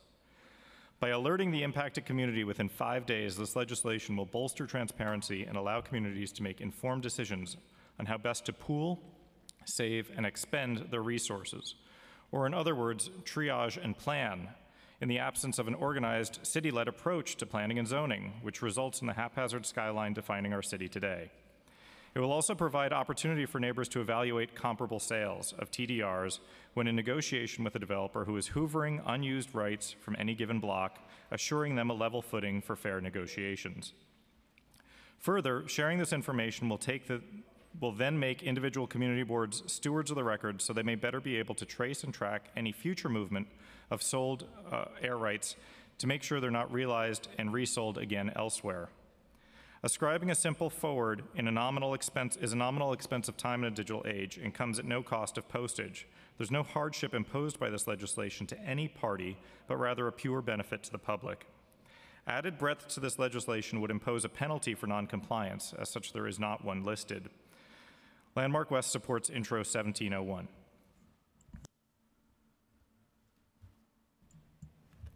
Uh, good day, Chair Salamanca, Councilmember Kallos. I'm Andrea Goldwyn speaking for the New York Landmarks Conservancy.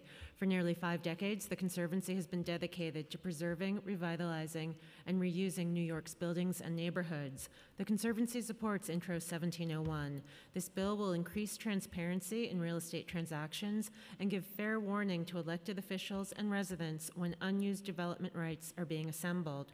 For too long, owners have been able to subvert the intentions of the zoning resolution and use loopholes to create out of scale, out of context towers. The Department of City Planning has started to address the problem of mammoth mechanical voids, but there's more to do. As we've heard time and again today, we've seen absurdly small lots used to evade contextual building requirements. We've seen developers pull together FAR from stray, unbuildable lots to create zoning lot polygons that defy planning logic. Intro 1701 won't solve all of these problems, but it's an important step in the right direction. New York will always grow and change, but this process needs to be fair and equitable. We thank the council members who sponsored this bill in conjunction with the Manhattan Borough President, and we thank you for taking this deep dive today and unfortunately encountering some of the frustrations that we've all felt when agencies can't seem to provide the answers we're all looking for. While the administration has been slow to respond, we're glad to see this branch of government take up these issues, and we urge you to vote in favor of this legislation. Thank you. Uh, my name is Olive Freud. You can just, um, I'm sorry, uh, the microphone. Uh, can you help her there? Yeah, just press the red. My name is Olive Freud. I'm the president of the Committee for Environmentally Sound Development. We're the ones in litigation over 200 Amsterdam Avenue. Before I read what I have to say, I want to say that uh, up until now, you've been, you've been asking this question, how do we put a, a limit on height? One of the ways, and it's been all, all through history, is that you take the number of stories and you multiply by 10. And then that's the way you get the height, until now, until a few years ago. Uh, thank you so much for looking into the operation of the Board of Standards and Appeals and zoning lot mergers. My organization, the Committee for is in litigation of the. In contention is whether a zoning lot consists of two or more lots or consists of two or more lots plus parts of additional tax lots. The, the minority report of the BSA, uh, their June report, June 25th, supports our contention that a zoning lot can only consist of two or more tax lots. This has never been a question before because mergers have always been two or more lots. I shouldn't have said never. I think it's seven uh, cases over the years that were not, and this one. The developer of 200 Amsterdam Avenue submitted a brand new interpretation of mergers, which has led to the 39 side zoning lots shown on page two. If you have my uh, thing that I handed out, you could just turn it over and see what happens when you don't do two. Yeah, I see the picture there. Just turn it over. That's it. The little yellow, the little yellow is their lot, and the thing in red is what he managed uh, to fool them into, uh, but he handed in. We cannot allow this as a set of precedents, allowing our parks and green areas to be used as parts of mergers. That's going to happen all over the city if we allow this to go on. The language has been clear to all developers. That is, there are lots of developments going on in this city that do it the way they should do it. Two, two lots, no parcels. Nobody bothers them, and they go ahead and put up their building. Uh, This is an, uh, your opportunity to erase all ambiguity in the zoning regulations.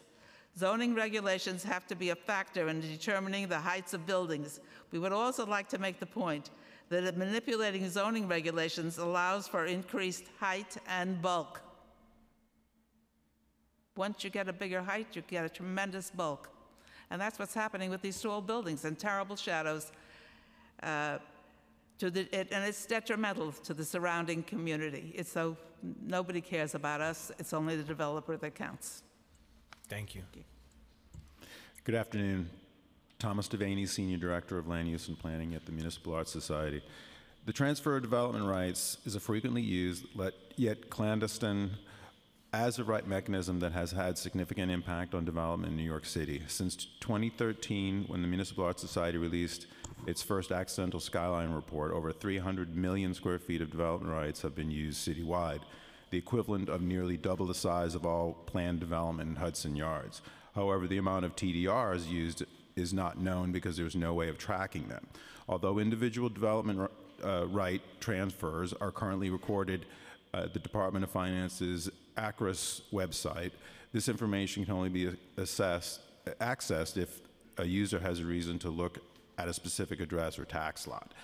There's no way to be notified of a recorded TDR agreement, nor is it possible to find transfers on a map. Therefore, any comprehensive analysis of TDRs is virtually impossible. The timely series of bills being introduced by the Council should go a long way towards bringing TDR process into the light. MAS has long advocated for increased transparency, accountability, and availability of public information in the city's as-of-right land use decisions. In our 2017 update of the Accidental Skyline Report, we noted that existing resources are all too often deficient in informing the public of important real estate transactions and land use decisions until the development process has been completed.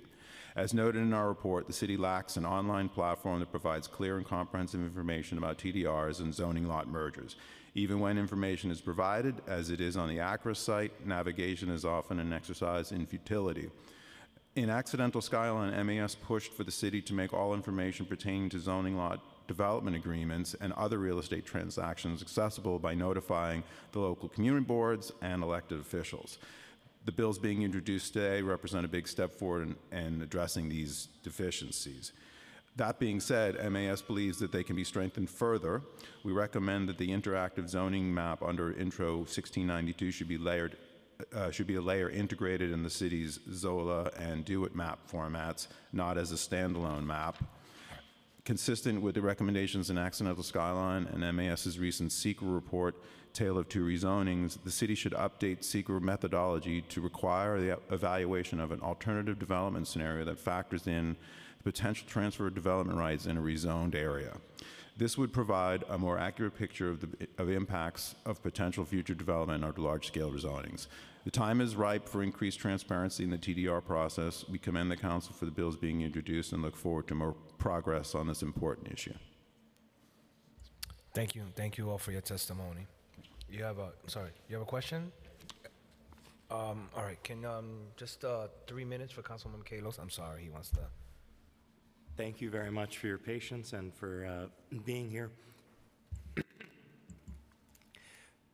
Do you think that it would be helpful if this legislation also covered not only the transfer of development rights when they're being recorded, but also as the practice appears to be uh, that developers will actually collect options to purchase those development rights? That's what we saw in the filings with Sutton during the bankruptcy.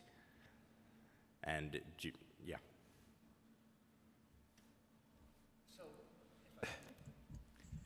So DCP wasn't wrong when they said this is going to be hard, right? It's going to be hard. There's no doubt about it. Um, but they still have to do it. When you add in another complexity of options um, that may never be realized, right? Those options can expire and then would never happen. Um, then you've got to constantly update. I, I think, you know, if I think it would be great if it were there, but I also think it would be just another impediment on something that is already going to be very hard. Okay. That's it. Thank you. All right, thank you. All right, so we're going to bring up a next panel. Uh, we have Harry Bubbins, um, Sheila Kendrick, Kendrick, uh, Richard Lewis, and Alida Kemp.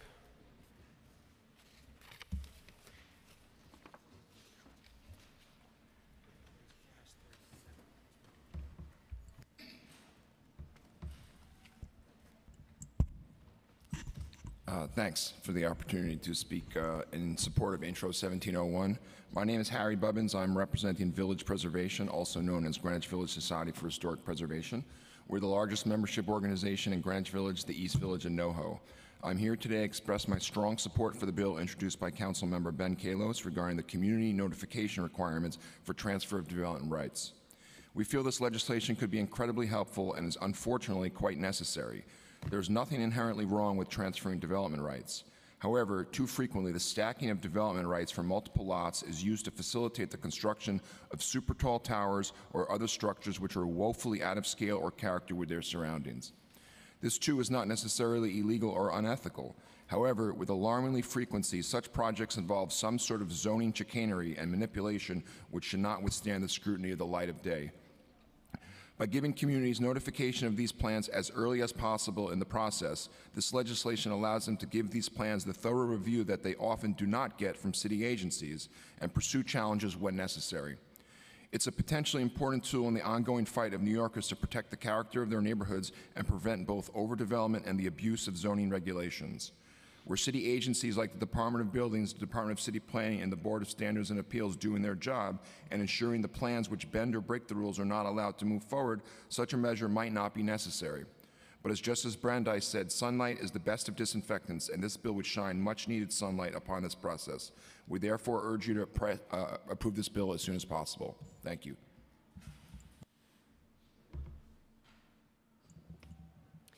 I'm Sheila Kendrick with Save Central Park NYC. Um, we work with advocacy groups and city um, advocacy groups citywide as we face challenges that impact Central Park and other precious open spaces. Many are startled when plans are finally realized um, to find that proposed towers are completely contrary to what was expected and out of context with their neighborhoods. This bill, which we support, requiring public notice of TDRs within five days, is long overdue. Whether you're an advocacy group, a property owner, a potential buyer, a resident, or a developer, all, all should have access to this information that will, will allow for informed decisions. It will further limit the secret transactions that have been all too frequent in real estate development today. Numbering tax lots of record and providing interactive maps of, of available air rights will also provide clarity and transparency to all stakeholders. Thank you. Okay. Richard Lewis, I'm board chair of Community Board 12 in Washington Heights and then with the top of Manhattan. We enthusiastically support this package of, uh, of, of legislation 1691, 1692, and uh, 1701. In fact, the entire board, I would say 40 members supported it unanimously. Uh, so I'm going to keep my statement as briefly as possible. You have it on the record. Uh, uh, and uh, I sat here listening to the testimony of the three agencies, DCP, uh, DOB, and uh, BC, uh, the, the BCA. It was a little bit dis- disconcerting to know that they did not know all of the city lots, and there seemed to be great resistance of going backwards and some, some slight enthusiasm going forward. It seems that developers have greater rights of going backwards and putting us in this predicament that we are. This has to change, and I think as an IT professional, I can tell you that it may be problematic to get this information done. It is not impossible. It must be done. The sooner the better. And the sooner we can enforce with more deliberate speed this legislation, it helps the public and that's what we like to know. We need to have this information. Thank you very much, and I applaud the council and its members for doing their hard work and getting, getting us to this point. Thank you, thank you, thank you. Do you have any questions? Hi, um, good morning. Thank you, Chair Cabrera, Chair Salamanca, and members of the City Council. My name is Alida Camp. I serve as Chair of Community Board 8, Manhattan.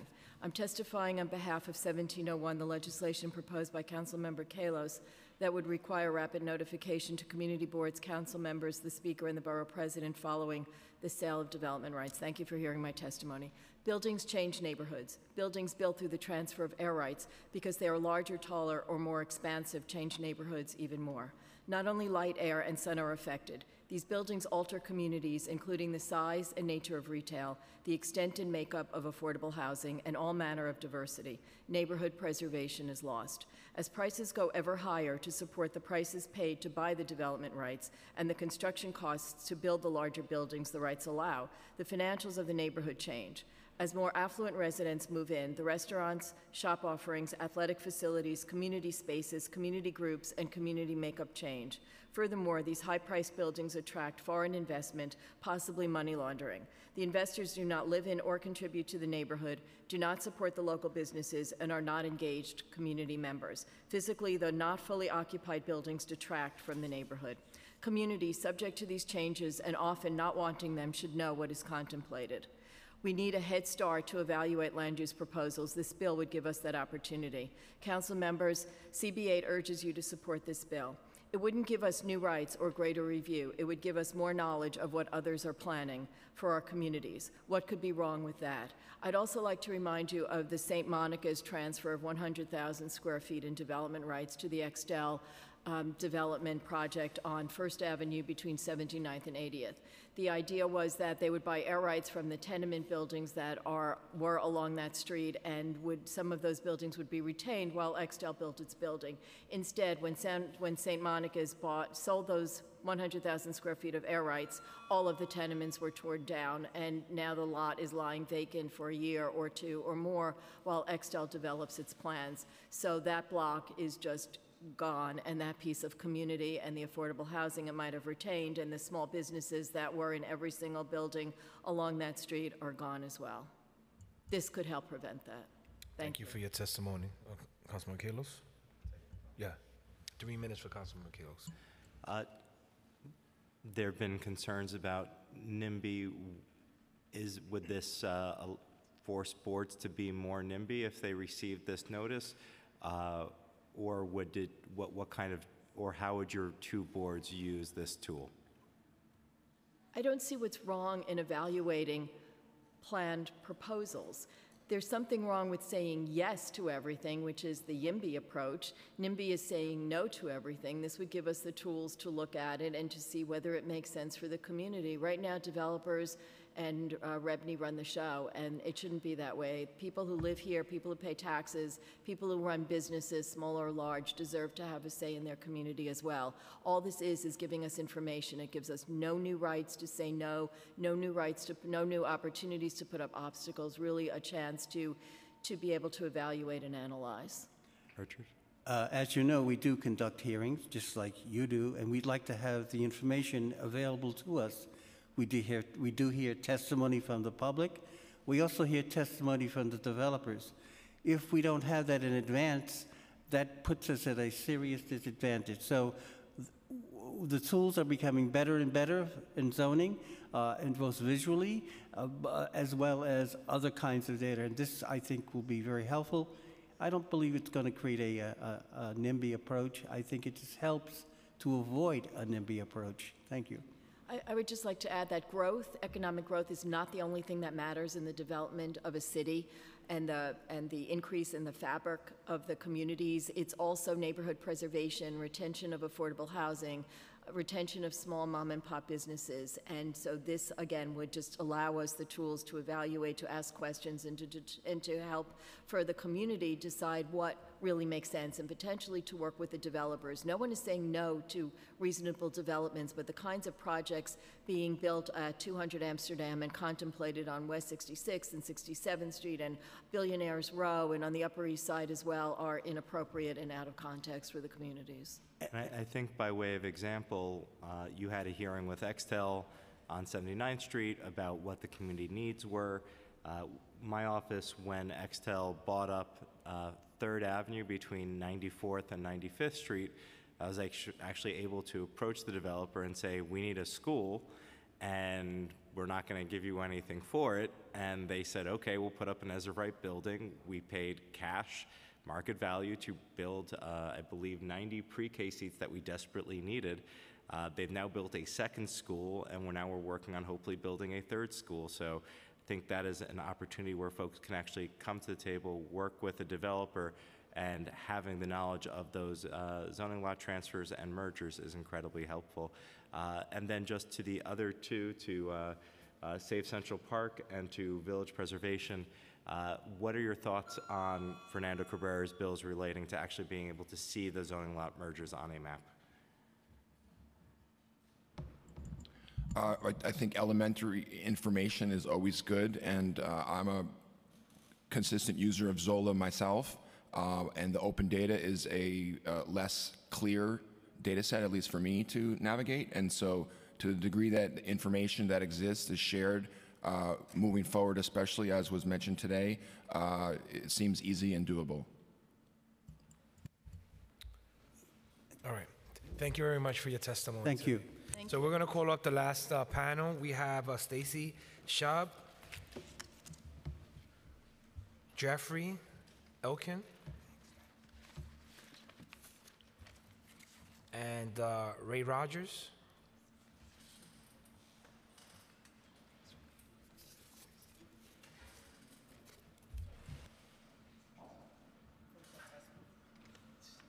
I feel like I'm being arrested.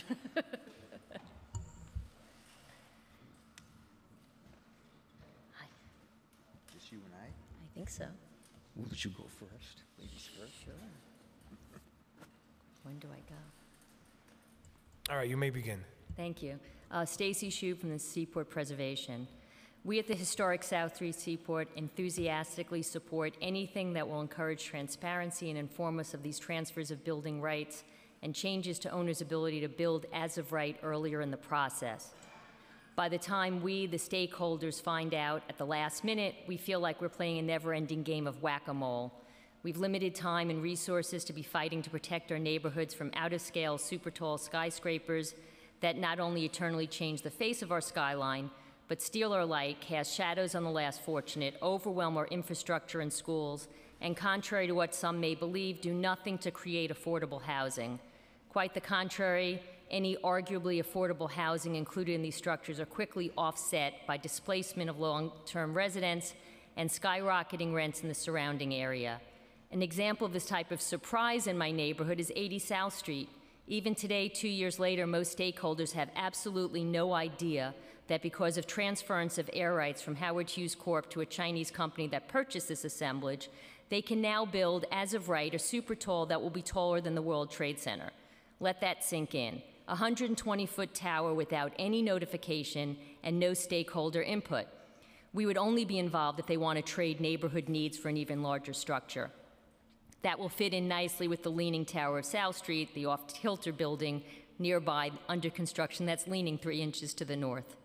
Almost all of the 40, 50, and 60 plus story structures erected on the very narrow Fulton Street between Water and Broadway have been a surprise to our neighborhood as we watch four story buildings being swallowed up and air rights bought and sold under our noses. I fear we may be setting up for yet another fight within our protected historic district if, as expected, Howard Hughes Corp will reveal their plans tonight for a pencil tower at 250 Water Street this evening. I'd hoped that the Extell Tower nearby, the hated, half empty behemoth looming over the Two Bridges neighborhood, would have served as a warning. Nobody can honestly look at that 80 story building and say it fits within the intention spirit of the original zoning. We support anything that would help to pre- prevent these types of surprises in the future. Thank you. Good job. Thank Hi, I'm Ray Rogers. I represent my organization Corporate Campaign. The importance of passing Intro 1701, introduced by Councilmember Ben Kallos in 1691 and 1692, is to help prevent those real estate tycoons, often referred to as billionaire bullies and racketeers, who run REBNY, the Real Estate Board of New York, from continuing to run roughshod over New Yorkers. For those of you who don't know who some of the most influential leaders in REBNY are, let me name a few. REBNY's current chair, Bill Rudin, turned St. Vincent's Hospital into a billion dollar luxury condo complex. Former REBNY chair Rob Speyer of Tishman Speyer illegally deregulated thousands of rent stabilized apartments in Stuyvesant Town and Peter Cooper Village in a scheme to steal millions of dollars from more than 27,000 tenants and to turn apartments into high priced condominiums. Tax cheat Stephen Ross of related companies worth $7.6 billion thinks New York City construction workers at Hudson Yards are pampered and overpaid. Slumlord Daniel Brodsky and Extell's Gary Barnett, who created the outlawed poor door entrances and is fueling hypergentrification by populating the city with super tall luxury high rises that block the sunlight and cast a shadow over gardens, parks, and communities like Chinatown. Political leaders not in the pocket of REBNY must fight to pass legislation like that being discussed today and like the Small Business Job Survival Act, which continues to languish before the City Council while small businesses remain in crisis. With proper legislation and proper enforcement, we can, we can, and we must prevent REBNY from further turning New York City into Rebneyville, a place known for slumlords, homelessness, mass evictions and displacement, empty storefronts, dilapidated public housing, warehouse buildings, bulldozed neighborhoods, ridiculous super tall luxury skyscrapers, lack of affordable housing, union bashing, cor corporate criminality, construction worker fatalities, massive corporate welfare, and political corporation. Let's remember what Martin Luther King reminded us of. Martin Luther King said, injustice anywhere is a threat to justice everywhere. So I wholeheartedly support the legislation we're talking about today to bring greater justice to all the residents of New York City. Thank you. Thank you Thank you very much uh, for your, uh, your testimony. Councilman Michaelos? No questions? All right, thank you very much. Thank you. Is there anyone else in the public that would like to testify that did not fill out a form with the Sergeant of Arms? All right, we're going to take a, a two-minute a two-minute recess.